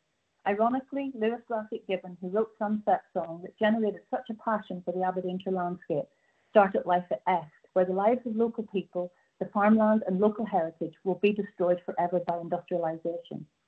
And from one of my neighbours, this is my safe place, where I recovered from cancer, where I share my life with my grandchildren, bringing them up to appreciate all good things in this part of Scotland. In conclusion, RES would have you believe that this development will save the planet and grow the economy. The facts are that this development is not needed, and RES's own analysis states that there will be negligible economic benefit both locally and nationally. But they call us. We are not. It's the wrong development of the wrong scale in the wrong place. Industrial scale development such as this should not be in anybody's backyard, and we urge to object. Thank you. Okay, thank you, Ms Blackwell. And it's now open to members if they have any questions. I don't see any indication of questions. Okay, so thank you, Ms Blackwell, um, and obviously you're welcome to stay in the meeting um, but you can't make any further comments. So thank you for speaking to us today. We'll now move on to our next speaker, who is Louis Backwell, um, again, an individual objector um, to address the committee. Mr Backwell, you'll have five minutes um, and then members may ask you questions. Thank you, Chair. Can you hear me? Yes, we're hearing you fine. I started my career as an EHO, and I have a diploma in acoustic and noise control from the Institute of Acoustics. And I live in Midmar, and I'd like to talk to you about noise. Wind turbines are noisy, but I can understand why the Council Environmental Health Department said there is no issue with noise. because the guidance they were following, ETSU R97, is nearly 30 years old and written by the onshore wind industry for their industry at a time when turbines were much smaller. Because it is old, and perhaps because councils are still getting complaints, the four governments paid for an independent noise consultant, WSP, to review the guidance. WSP reported in February 23 and highlighted several shortcomings, and the Department for Energy Security and Net Zero have stated under Freedom of Information that the guidance would benefit from targeted updates and that the previous government have contracted Noise Consultants Limited to update ETSU by spring of next year. The WSP key recommendations relate to amplitude modulation and nighttime noise levels. I do not have time to discuss amplitude modulation, which is the woomph woomph noise they all make. However, nighttime noise levels in ETSU are stated as 43 dB, which is ludicrously high for quiet countryside settings, whereas the World Health Organization standard is much lower at 30. The Midmar area has been recorded much lower again at around 20 and frequently much lower. An increase of 23 dB is a significant difference when you're trying to get some sleep the noise impact assessment also uses the assumption in their calculations that the ground absorption factor is 0.5. This allows RES to achieve the distances and setbacks from their turbines to houses they are stating. However, when the ground is covered in ice and compacted snow, the ground becomes a fully reflective surface and makes a nonsense of their noise impact assessment calculations for many weeks in the year, winter. In addition, leading edge erosion on the glades will increase noise levels with time. Why else would RES put in a suggested planning condition in respect to noise, the only one in their documents? Because they expect complaints, and there will be complaints if it goes ahead from anyone living within two to three miles of the turbines and maybe further. I would urge the committee to apply the precautionary principle today, as stated by the Department of Energy Security and Net Zero. In the same FOI response, they stated, decision makers considering applications for consent may choose to depart from existing policy and guidance if there is a rational justification for doing so. I believe what I said is rational. But if the development is pushed through against democratic principles, I would request the Council rejects the suggested condition as it is biased for the developer and that the Environmental Health Department write a more balanced and independent one, where the operator of the site isn't forewarned of complaints, that a more truthful picture of the reality can be captured and responded to quickly. One last thought, the Council could consider issuing a notice under the Environmental Protection Act 1990, Section 79 and 80, preventing a nuisance yet to occur from occurring. I'd be happy to take any questions. Thank you. Okay, thank you, Mr. Buckwell. Any questions, members?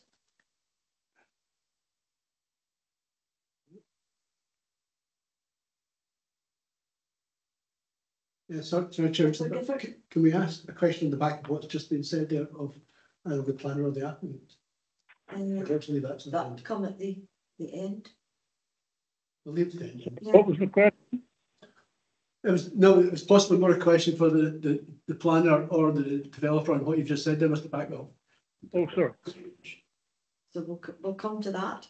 Yeah, can I just advise that the applicant um, or the, uh, the the representative for Res left the meeting some time ago, so we don't have them in the meeting any longer.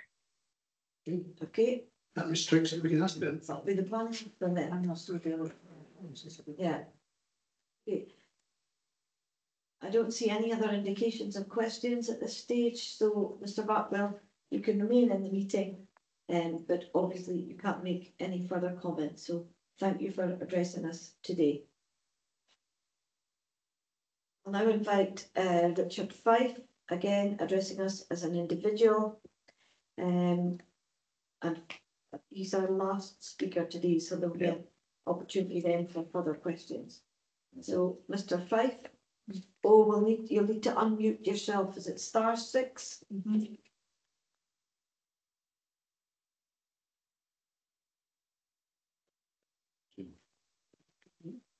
Uh, yes, Chair. I had reason to um, mute Mr. Fife because there was some um, issue with noise coming through. So if um, he can hear us at the moment, if he can use star six on his keypad, he should be able to unmute himself by doing that.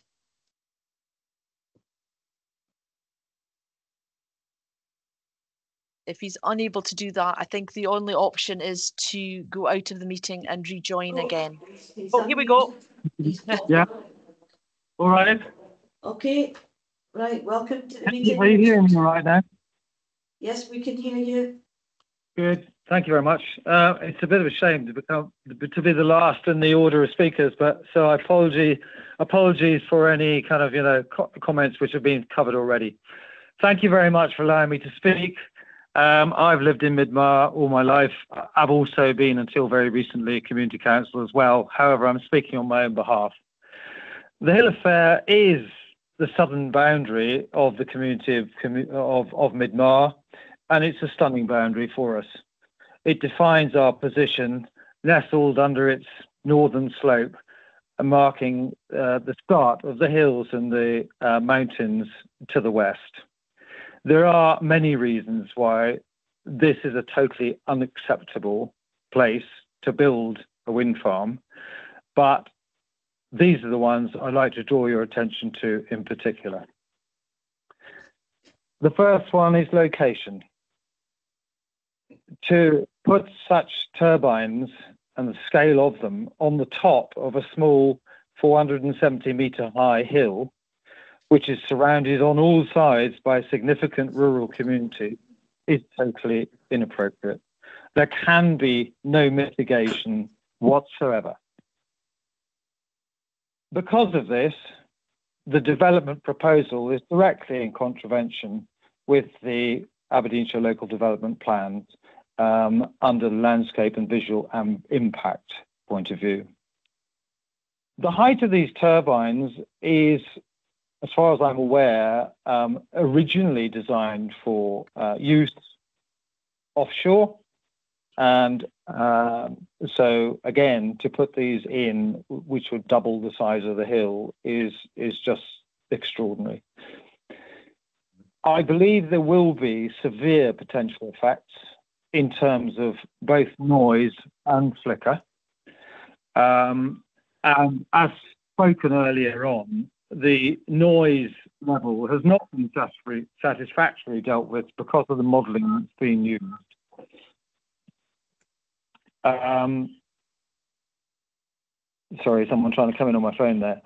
Um, as a community councillor, for a second, it was unique to get all six community councils in our area to come together.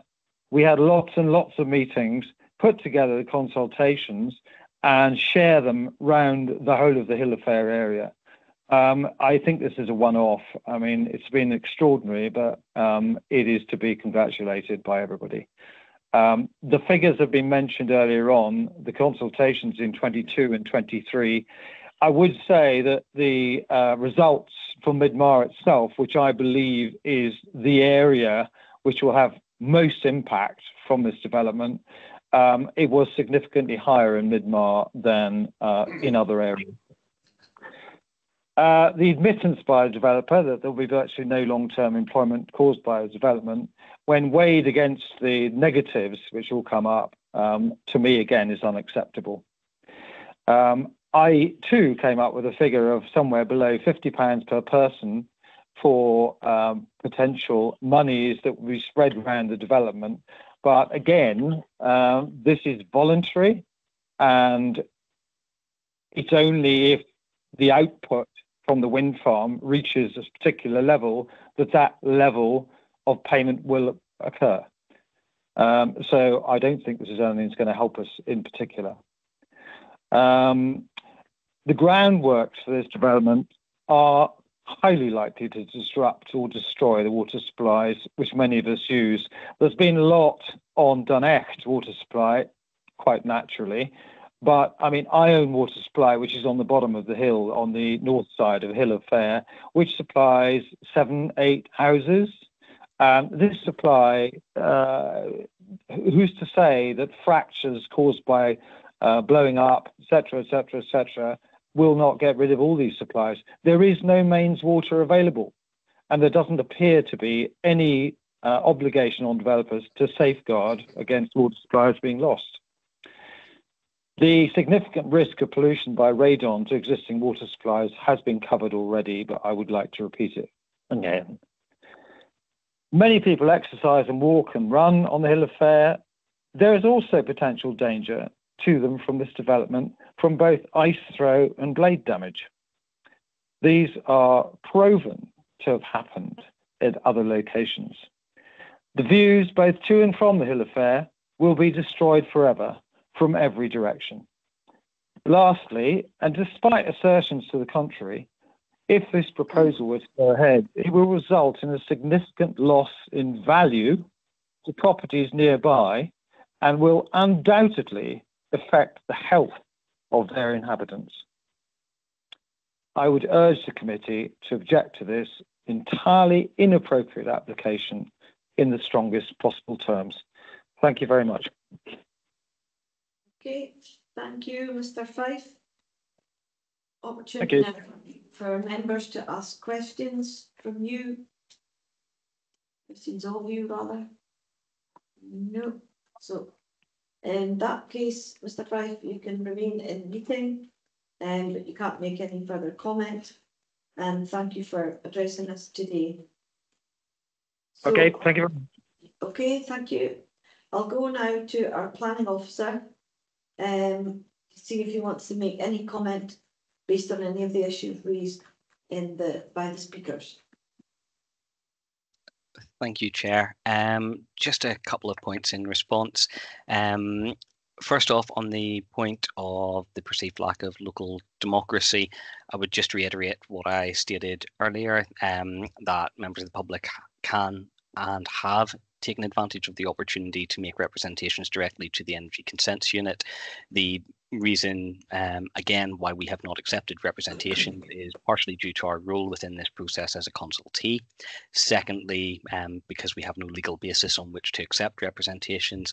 And third, that with representations made directly towards the Energy Consents Unit, it safeguards the ability of um, those individuals or groups to participate in further procedure.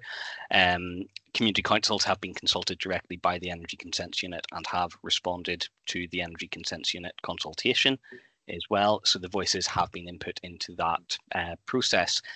Um, on the matter of uh, noise and the use of ETSU. Um, that is the industry standard at this stage. Noise is a technical matter, and uh, I am not an environmental health officer or a noise specialist, so I can offer limited advice on that, other than to say that our environmental health colleagues have considered the noise impact assessment and are satisfied with the findings. The condition that has been suggested by the developer, as I understand it, um, we would seek to um, seek to discuss that condition if it looked like we were in a position to support the application. I don't think we would necessarily be entirely satisfied with what has been proposed, but that would be subject to further discussions um, between officers as it is a technical matter. Um, likewise, the enforcement of any noise complaints. Again, we can't pre um, predetermine the nature of any such complaints or whether the appropriate mechanism through which those could be pursued would be through uh, planning controls or via the Environmental um, Health Act. The issue of property value with much like with planning applications property value is not a material consideration. So i would suggest to members that that is something that they cannot give consideration to within the discussion. And the issues around uranium were previously raised at other area committees and it is something which we are um, investigating further but there is a lack of information on which we could raise that as a concern at this stage or um, as a further reason for objection. Um, thank you, Chair. Okay, thank you. So members, um, any questions for the planning officer, I think? Councillor Gifford. Councillor Walker. Thank you. It was just a question about uranium. I, I I know that previous area committees have raised it and uh, you mentioned the lack of evidence, but I just wondered, is this some, something that can be explored further should a public inquiry come forward? Ultimately, the remit of the public local inquiry will be set by the reporter that heads it. Um, but if the issue of uranium has been raised through letters of representation or through um, the comments provided by area committees, um, then the reporter will have the option of exploring that as a specific topic at the um, public inquiry, but that would be for the reporter to decide. Thank you. Okay, thank you. Councillor Gifford, please. Yeah, thanks, Chair. Yeah, let's go back to what Mr Backwell said on, on the noise issue. And it is unbelievably technical, and the more I read about it, the less I understand it. I admit that freely. Um, but the guidance, as he said himself, is based on a long time ago, much smaller turbines, and most of them were in isolation. Just wonder what assessment has been done for the cumulative impact of all these turbines operating simultaneously with the, the noise reflection that was mentioned in one of the submissions, and you know looking at all the noise associated with turbines. It's not just the mechanical noise when they're working, it's the blades swish, it's the compression thump when the blades pass the, the turbine um, tower, etc., etc. I just wonder that whole assessment has been done in the round. And the mention was there of the uh, precautionary principle, and just wonder if we get some comment on the application of that based on the information in front of us. I'm afraid I'm not going to be able to answer very much of that question as noise is such a technical matter. It is something that um, really does fall out with my area of expertise, and I wouldn't like to mislead the committee by attempting um, to begin answering that. It is something that if there are specific concerns that can be clearly defined, we can um, look um, to raise with our colleagues in environmental health. But I will say that with the um, noise assessment that has been submitted, you know, cumulative impact generally does form part of a um, noise assessment for um, this kind of proposal. Uh, conditions are generally structured in such a way to address cumulative noise impact. Um, to make sure um, that you know as more and more turbines are uh, constructed, more and more wind farms are constructed. Um, the, generally, the approach you take is you provide or um, apply harsher and harsher penalties to account for the existing noise that's already there. Um, but I'm afraid I can't really go into much further detail on that, councillor. Can, can I ask then, if, if we're not entirely happy with the condition it's suggested, do we have an alternative form of words that might give more assurance to people who are raising this as a real concern? So generally what happens is, as I've stated before, if we um, object, it triggers a public local inquiry. As part of the public local inquiry um, preparation, we will be asked to provide a list of conditions. It will be the planning officers in consultation with the key consultees will draft these. Um, the developer will generally also prepare their own list of conditions and the reporter will um, essentially as part of the um, or in the past whenever we've had um, inquiries uh, the reporter has held sessions specifically on conditions um, to kind of discuss uh, the differences and to reach a conclusion on what uh, form of conditions to attach. So i would be hesitant to commit uh, one way or the other to specific conditions at this stage, but um, the council would be putting forward um, suggested conditions as part of any inquiry if we get into that position. Okay, thank you. Okay, thank you. Councillor Keating, please. Thanks, Chair. Uh, James, uh, one of the points Mr Rose made was about the effects of grid decarbonisation and therefore the benefits of the wind farm decreasing. Um, directionally, I agree with them. I'm not sure I'd go as far as to say there is no benefit, but nonetheless, I think my question is simply, is that matter, the carbon benefits of this wind farm, is it a matter we could put into a view from Aberdeenshire Council, or is that just a straight ECU consideration, which would not be appropriate under planning regulations for the council to refer to? Okay, so the application itself, if you read, if you have went through the supporting information, um, uh, or indeed uh, through the committee report in front of you, is ultimately coming down to the planning balance, and that is to say whether or not the benefits of the proposal outweigh the um, identified harm of the proposal. And within that particular argument, the case by the developer essentially seeks to promote that the payback period is so short for this development and the operational lifespan is so long that it would have a net benefit um, in terms of the amount of carbon that it would remove um, from uh, the uh, electricity generation. So very much the carbon balance is a material consideration.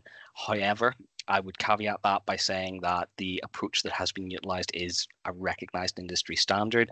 If we were to go down the route of trying to dispute that, we would need to be very clear about what is um, wrong with the approach that has been taken, and we would need to be very clear about how it should have been done. I'm not sure that we necessarily have that um, position um, well enough articulated um, or the evidence um, behind it for us to pursue that as an additional reason, um, but it is a material consideration within the planning balance. Okay, well, thank you for that. And now, now you have drawn my attention to it. I do recall seeing the payback period, and yes, that, so so it is something we can consider. And I'm as you can guess, I had a question for Mr. Rose. I only thought of two two speakers later, but um, if the, I mean, the grid is decarbonising. I don't think there's any dispute on that. So if there is metrics or calculations being used that are historic, without knowing the detail, and, and maybe this is not something we can do, but directionally, it must be the case that the calculation is out of date. I'm sure it's been done correctly by the rules, but it is actually out of date as a matter of fact. And I, I, I guess, as it's not us making the decision, I wonder if that's just something that you might like to co- contemplate and see if you want to discuss it further at ISC, who will actually make the final decision. Because I think the point is reasonable and I, I have no knowledge of how recently updated the, the grid carbon numbers are. But if they're anything more than a year or two old, I suspect, as I say, they, they are too carboned, too carbonized for uh, the current uh, renewable portfolio. I'll leave it with you, James. It it certainly is a comment that if the committee wishes to express that as something they wish us to explore in greater detail, we can uh, take that forward as a comment um, to ISC. Um, but as I say, um, I think that the kind of um, approach that's been utilised is well recognised. It's not the case that we as a service go and uh, carry out our own calculation, as it were. It is as per what is submitted. So um, if we were to question that, we would need to be very clear about um, what we are questioning in particular. Yeah, that's fair. Okay, thank you. Here's grant, please. Thank you, Chair. Um, James, it's, it's a shame that Mr. Shirley has left because I would have wanted to ask if I asked him about it as well. But I'm a, a bit concerned about the, you know, the the um, reference to issues with uranium and uh, radon, and I just wondered, uh, are you aware of um, this, you know, the this issue that's all been addressed in the developers' uh, documentation, the the EIAR? Is there any guidance from the Scottish government on, um, you know, how these risks should be addressed? Um, and based, you know, based on the lack of um, information that we have, um, I would assume that you know that, this that the fact that we do have a lack of information that this should you know form a, a significant part of the council's recommended reasons for objection. I just wondered if you could expand upon that. Thank you. So at this stage, we have no evidence in front of us in terms of the EIAR or the submitted material to discuss this. It's not something that was raised through the screening or scoping process. It is an issue that has been raised by the community throughout this. So our expectation is that as it's been raised through representations, it is for the Energy Consents Unit um, to consider as part of their decision-making process.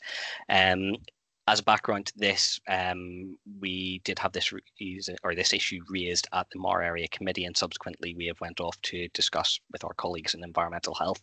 We are currently awaiting their feedback on that to feed into our ISC report, and at that point we will be able to hopefully reach a conclusion as to whether it's something that um, is within our scope, whether it is something that we can or should be raising concerns about. But my understanding of the issue is that the remit for consideration of uh, uranium as a naturally occurring substance lies with SEPA and how that interacts with private water supplies. It's not been raised within the SEPA response, which is why it's not been flagged within um, our report. Um, but as I say, this is something that we are actively seeking further clarity on and will incorporate within further reports. If it's something that the committee is particularly concerned about or interested in, it is something that could be raised as a comment um, to be carried forward to ISC. Yeah, that, that thanks, James. I, I think uh, more information uh, for the uh, presentation to ISC would be useful. So presumably SEPA would be aware of the deposits in the uh, in the site under discussion. I can't speak for SEPA, but I know that the issue has been raised by members of the public with SEPA subsequent to the committees. Okay, thank you. Okay, thank you. So I think that would be a, a question, maybe a comment to put to for ISC. I know uh, in certain areas not that far from here, in the early nineties, there were radon monitors in the houses. So um, it is something that's been looked at in the past. Okay, I don't see any further questions for the planning officer just now, so members, happy to open the debate obviously, uh, comments for um, infrastructure services as to whether or not we agree with the planner's recommendation as written on page ninety, and the conditions therein. Councillor Lonchay, please. Well, since nobody wants to uh, be first, I get to open it. Thank you very much. Right, well, a lot have been said uh, about this development. Uh, taking that into account, uh, I consider the recommendations on page 90 and 91 to be completely acceptable. I uh, agree with uh, all of them. And uh, additionally, I would like to put another few points. The first, uh, it will be up to uh, uh, the committee to decide if these want to be passed on to ISC or not. First of all, on the benefits, which I find very light, I open the door to the applicant to detail what would be direct benefits to the communities. I think what, what he said was um, not satisfactory at this end. I have a major concern about drinking water for the residents which would be affected by that, particularly since there is no alternative. Uh, that's a very important point, I think, which we should uh, consider. Another important point, which again I consider a life and death point, is disturbing uranium, uh, which is uh, stored in the uh, in the soil. Of that proposed development, which would uh, expose people, residents around, visitors uh, to potentially the to risks. First of all, radiation, and after that, uh, for the uh, drinking, uh, for the drinkers of the water, heavy metal uh, metal poisoning. Uh, that those are serious serious concerns. Uh, another one is ecology. it has been said that rare and endangered species could be affected, particularly red kites. I don't want to see that. Now, Another point is that Scotland uh, tourism is sold on open uh, landscapes, uh, wild, and uh, and basically on the other end, uh, this proposal is uh, proposing, pardon me the pun, to wreck the rich. so basically, I I don't I don't see that to be reconciled, i.e. the visual impact which has been cited. Another point is that we are voted representatives by our constituents. And what I find is an overwhelming opposition to this particular uh, development. Uh, indeed, 78% has been cited by uh, one of uh, objector and 71% by another one. These are very high proportions, I, I, would say. And the last point that I would like to add is that I consider that there is already too much renewable electricity being produced or available at this moment in time to the tune that basically some of the producers are paid huge amounts of uh, taxpayers' money to stop producing doesn't make sense for me at this point in time, particularly, to add to that. So that's all I have to say. Okay. Thank you very much. Thank you. Some of your, your points there. Well, as I said, I'm not particularly hard up on all of them or whatever it is, what the committee decides. Okay, thank you. Councillor Grant, please.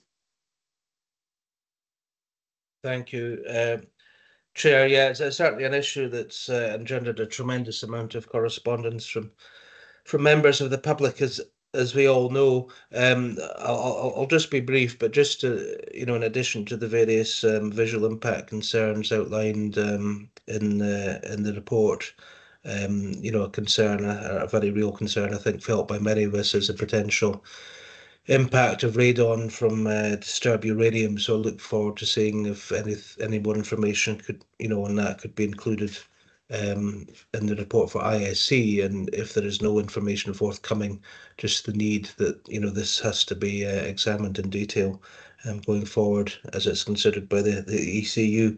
Um, but just uh, uh, following on from that, uh, you know, I would just add that I uh, support wholeheartedly the recommendations in the report. Thank you. Okay, thank you. Councillor Keating, please. Yeah, thank you. I'm, I'm equally content that the recommendations go forward. I'm again happy with the, the uranium point. James, what you mentioned about the carbon balance, when now you point me to the payback in one, so the, the, the carbon balance, the payback in one year, it would have to be an, a massively out of date um, grid carbon calculation for a 50 year project not to pay back at some point in that time. So my understanding is National Grid does actually put out a renewable content each year. And if there was a quick calculation, I think it might be useful to do. it. But if it is a lot of work, I, I don't think it's probably going to be material. I, I think my other observations would be, I think your explanation, your answers of why we have one and then three to six were useful for me, and it might be useful to tease that out for the committee in the report because it wasn't immediately obvious to me why we were effectively basing our objection on something that was going to be directly consulted on by the ECU. But I think your steer on the planning dimension was helpful to me and it might be helpful to other members of the committee. And I think as well, I think it's partly onto what Councillor Grant's point about what's local, which I think you described as the $64 million question. Mm. Um, I think the fact that you, you're aware of our previous objections and overturning of our previous objections, and you've learnt those lessons as best you can, and why you still feel that objecting again, despite previous history, we've learned everything we can and we still believe this is a prospective objection. Um, I think that would also be useful to tease out for the committee because um, that was what kind of what was in my head when I observed there was a lot of these things around and presumably some of them have also gone through the ECU despite local objections. So I think to give the committee the best advice possible that this is still uh, an objection that we believe has appropriate uh, basis and planning to make. I think that would be also useful for the committee. But as I say, supportive of what you're proposing. Thank you. Councillor Mason, please. Yeah, when we, um, thank you, Chair. Um, when we receive these energy applications, um, we're never given the full picture at all. Um, how we're going to connect to the grid, what other uh, implications, the water supply, I think it's uh, we've really got to look at this a bit more detail before you can make a decision on that. Um, now the the localized impact. Um, if if you go past the glens of Foudland, you can see um, it, it, all the uh, they're all appear very quickly, but they very disappear very quickly as you leave the place. Um, so that the visual impact is very localized. Um, what we've seen from the picture is that these can be seen miles and miles away. Um, so I, I don't know um, what everybody thinks of that, but uh, yeah, I, I, I think uh, the local, I think we're, we're breaking NPF four badly. I think we, we should uh, look at that. Um, thank you. Okay, thank you. Councillor Walker, please. Thank you. Um, I think that the, the two reasons planners have cited uh, for refusal, reasons one and two, are strong, and any removal of consultee objections subsequently, reasons three to six, should not dilute the overall council's objection. Um, I would like to see comments, not a condition, but comments uh, about uranium so that they can be picked up further along the process. I think the feeling that there is a lack of community empowerment and local democracy has really focused minds, and we have to acknowledge the power of work individuals and community groups have carried out. We do recognise that as we are not the determining authority, objections are not directly considered by us, but it is very welcome that the professional planning judgment is aligned with local opinion. As others have said, we've received hundreds of emails from residents and not one of them have been against alternative energy sources, but there has definitely been a consensus that this site is indeed an ill thought out proposal. So I would hope that Infrastructure Services Committee will come to the same conclusion on the 3rd of October so that local residents really do have their voices heard at a public inquiry. Thank you. Okay, thank you. Councillor Gifford, please. Yeah, thanks, Chair. And just to echo what Councillor Walker just said there, and- and give thanks to all the, the, the speakers that come in and give us their, their input today. It's all, it's very, very useful indeed. And I think as we've seen through some of the contributions, a lot of people who are really concerned about applications like this put in a huge amount of work and are often far better informed than we are about the problems that lie behind the application in front of us. So many thanks indeed to absolutely all of them. And I'd like to start with the first bit about the, the process. I know it's not what we're talking about here, but I think it really is something we need to take away elsewhere. The two things I highlighted earlier on, the BESS plant and the, and the quarries that are proposed on the site are all included inside this big application. And yet this committee has dealt with things just like that through separate applications on our own in different, in, in, for different reasons. There's something fundamentally wrong with a process that treats different the same thing differently depending on how you apply for it. And then, and I think it does lead to, as one of the contributors said earlier, a democratic deficit where people who live locally can't deal with something locally through our local planning process. There's something fundamentally wrong about that. And I think we need to take that way to people who are higher up the pay grade than we are to see what we, we can do about it. Um, going on to wind turbine applications. More than 30 years ago, uh, the first thing I got involved in local politics was a, a wind farm application right across the road from my house at White. And when I first became a councillor, more than 17 years ago, one of the first things we dealt with on the Formartine activity, as I was on then, was the Methven Farmers turbines, which we thought were huge at that time, and now they're pretty average sized in the scale of things we're looking at. And over all that time, through both those applications and many others, the fundamentals haven't changed. It's, it's the proximity of the turbines to people, how they impact on people, how they impact on the landscape, and all the technical things that sit behind that noise, shadow flicker, uh, and all the rest of it. And we've, we've heard, and I've read through this very detailed report, the analysis of all that, and it, it's pretty conclusive that this is a challenging site, to put it mildly. And I think the recommendations that others have said already are very, very strong, and we should support them wholeheartedly. This is not a good site for a, a large array of turbines like this, and there's all kinds of good evidence throughout the report that supports that. So um, certainly my recommendation to ISC would be to accept the officer's recommendation to object to the ECU when it goes forward. And the discussion we've had up and on about the uranium radon situation, I wonder whether we should add a, a seventh point to the to the points of objection. Um, and I've no idea about what I was trying to scribble something down if we got it very wrong, but subject to getting the feedback that James mentioned earlier from our environmental health colleagues, putting something along the lines of development would pose significant risk of wind and waterborne pollution if the ground that would be, would be disturbed during construction was determined to contain uranium and or radon. And I think just to mark that as a specific thing that's been raised uh, today in particular, but also in the report, and raised as an overarching concern we've picked up today. So I don't know what others think about that. I think adding a seventh point of concern would certainly, from my point of view, be very useful. Thank you. I, I would say not only during construction, because if the ground is disturbed, then the water follows a different path and might have access to other uh, quantities of uh, those uh, rare elements, I would call, or heavy metals, and or heavy metals. Thank you. So it's it's it's not only during construction; it's during the life of, uh, of the whole thing. I bring in Anne over to you. Thank you, Chair. Um, thank you, members. That- My understanding is there's sort of three areas, three sections to agree today. There's the recommendations, the set out in the report. If, if you're content with those, go to go to ISC.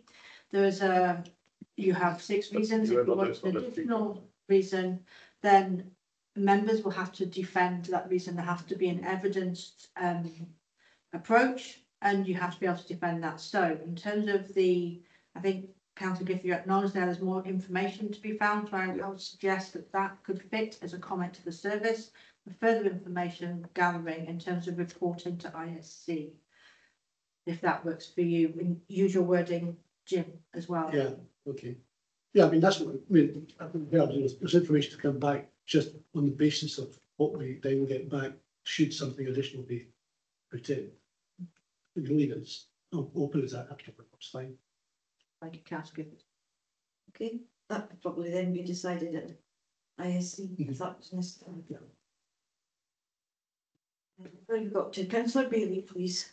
Yeah, thank you, Chair. I think this is a, as we've heard from a lot of the speakers today, they brought up some strong points and, and issues. Um, but within the mix of this paper, we see that there's a lot of information here, but there's a lot of the, the fringes of the, the whole argument here being kind of obscured in a way. We don't know within that purple area we see in front of us on our map, how many people are actually residing, within that area, how many people are actually being affected, how many homes have been affected.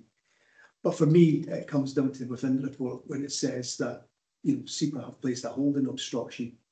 Uh, until sometimes there's other above matters are, are actions such as a um, uh, issues such as information and clarification raised by SEPA in respect to private water supplies and peat management system, uh, which have to be addressed uh, before development can be considered to comply with a NPF4 and so on. I think this is one of the cases where we need that clarification. We need to seek that information on this.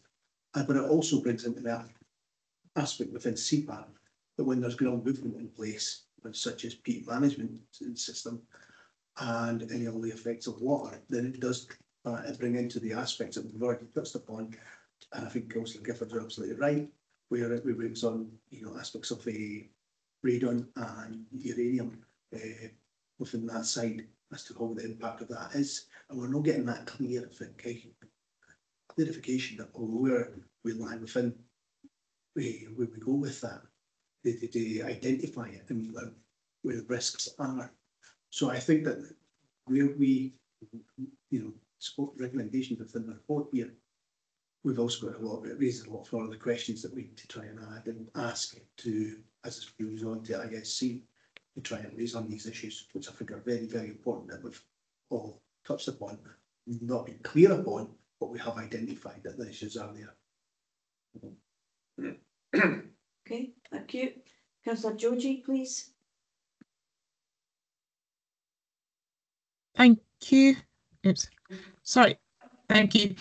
Um, I just wanted to say that Councillor Gifford raised a really important point. So I wasn't sure in terms of process if you needed a seconder or something just to make sure that it actually went through. I'm very happy to support what he said. And at risk of not repeating what everyone else said, I think um, Councillor Walker in particular covered a lot um, of what I did want to say. We've heard from the people um, from our residents today who have um, spoken, and also we've seen the presentation um, for one of our officers, and I hope that the ISC can consider um, the proposal from our officers, which is from a professional standpoint, and also what the community is clearly saying today. And um, that's all I just wanted to add. Thank you. Thank you. Just there quickly, and you referred to councillor Gifford's point. Was that the specific point about adding an additional condition? Yeah, the seventh. Or just making a, a comment to ISC on that? Yeah. So, yeah, the comment. So the comment to ISC because I think Anne mentioned that. Um, yeah, that um, we would need to defend any additional. Um, so I, I was. Um, I understand it's going to ISC as a comment. Um, and I was just checking in terms of process that if he needed a seconder or something, just to make sure it actually went through. Okay. Yeah, I don't, I don't think so. What we agreed is okay. we've all made, all made our comments about it. They will be taken through to ISC. If needs be, ISC can add that additional um, reason for refusal once they've dealt with it. Okay, because you mentioned the seventh one. No, it's fine. It's just clarity as well. Thank you. Okay, thank you. So can I just check before we actually uh, conclude this and make the decision? Uh, just to confirm with members that they've received the information and feel able to participate in the determination of the application. Yeah. Yeah. Yeah. We've certainly seen a lot of information. It's it's been fully explored, I think. Yeah. So, um, Chair, Councillor Payne wants to come in. oh, yeah, just spotted him. Councillor Payne, please. Thank you, Chair. Um, unfortunately, I lost connection for approximately five minutes at 11.30, um, so I uh, unfortunately will not be able to uh, partake in uh, the decision-making of this application. Thank you. Okay, thank you for letting us know. So, um. Is there a motion and or amendment? Sorry, not an amendment, still looking for a motion. I think that's it, and, uh, I mean, the, the. Definitely the comments Yeah. that people are making and the opinions that we. We, um, agree with the officer's recommendations as written on page ninety and ninety-one of the report. And the additional And we comments. would, uh, the additional comments, particularly the one where we'd like more information on the presence of uranium and radon and any possible pollution risks. Um, Possible update in secret, secret. that should come. Yeah. It's a holding objection, that should come. I, I don't know if you heard that, but councillor Bailey said in the room, possible update from SEPA. Mhm. Um, and I think just to acknowledge again the amount of work the local communities have done, um, consulting with their communities, researching and really looking into the issues uh, raised by the people that they contacted and for representing their views uh, so fully and clearly uh, to the committee today. Councillor Longy, you want to come in? Yeah, thank you very much for allowing me to come back on that, uh, uh, on one point. Page 91, 10.2.1, we should seek a response from the, uh, Ministry of Defence. Yes. I think that would be, uh, very important as well because of the potential impact of, uh, the development on, uh, flying and, uh, those type of things. James is waiting to come in, but I think he said that that was no in. Uh, it- Since the report went out, that Well- is now in. Oh, right, okay, oh, sorry. I'll bring James in and then I'll go to Mrs Cumming. James? Uh, yes, Chair, the MOD response is in. They have no objection subject to conditions. So that will be removed from the ISC report um, and we'll clarify that position within the ISC report.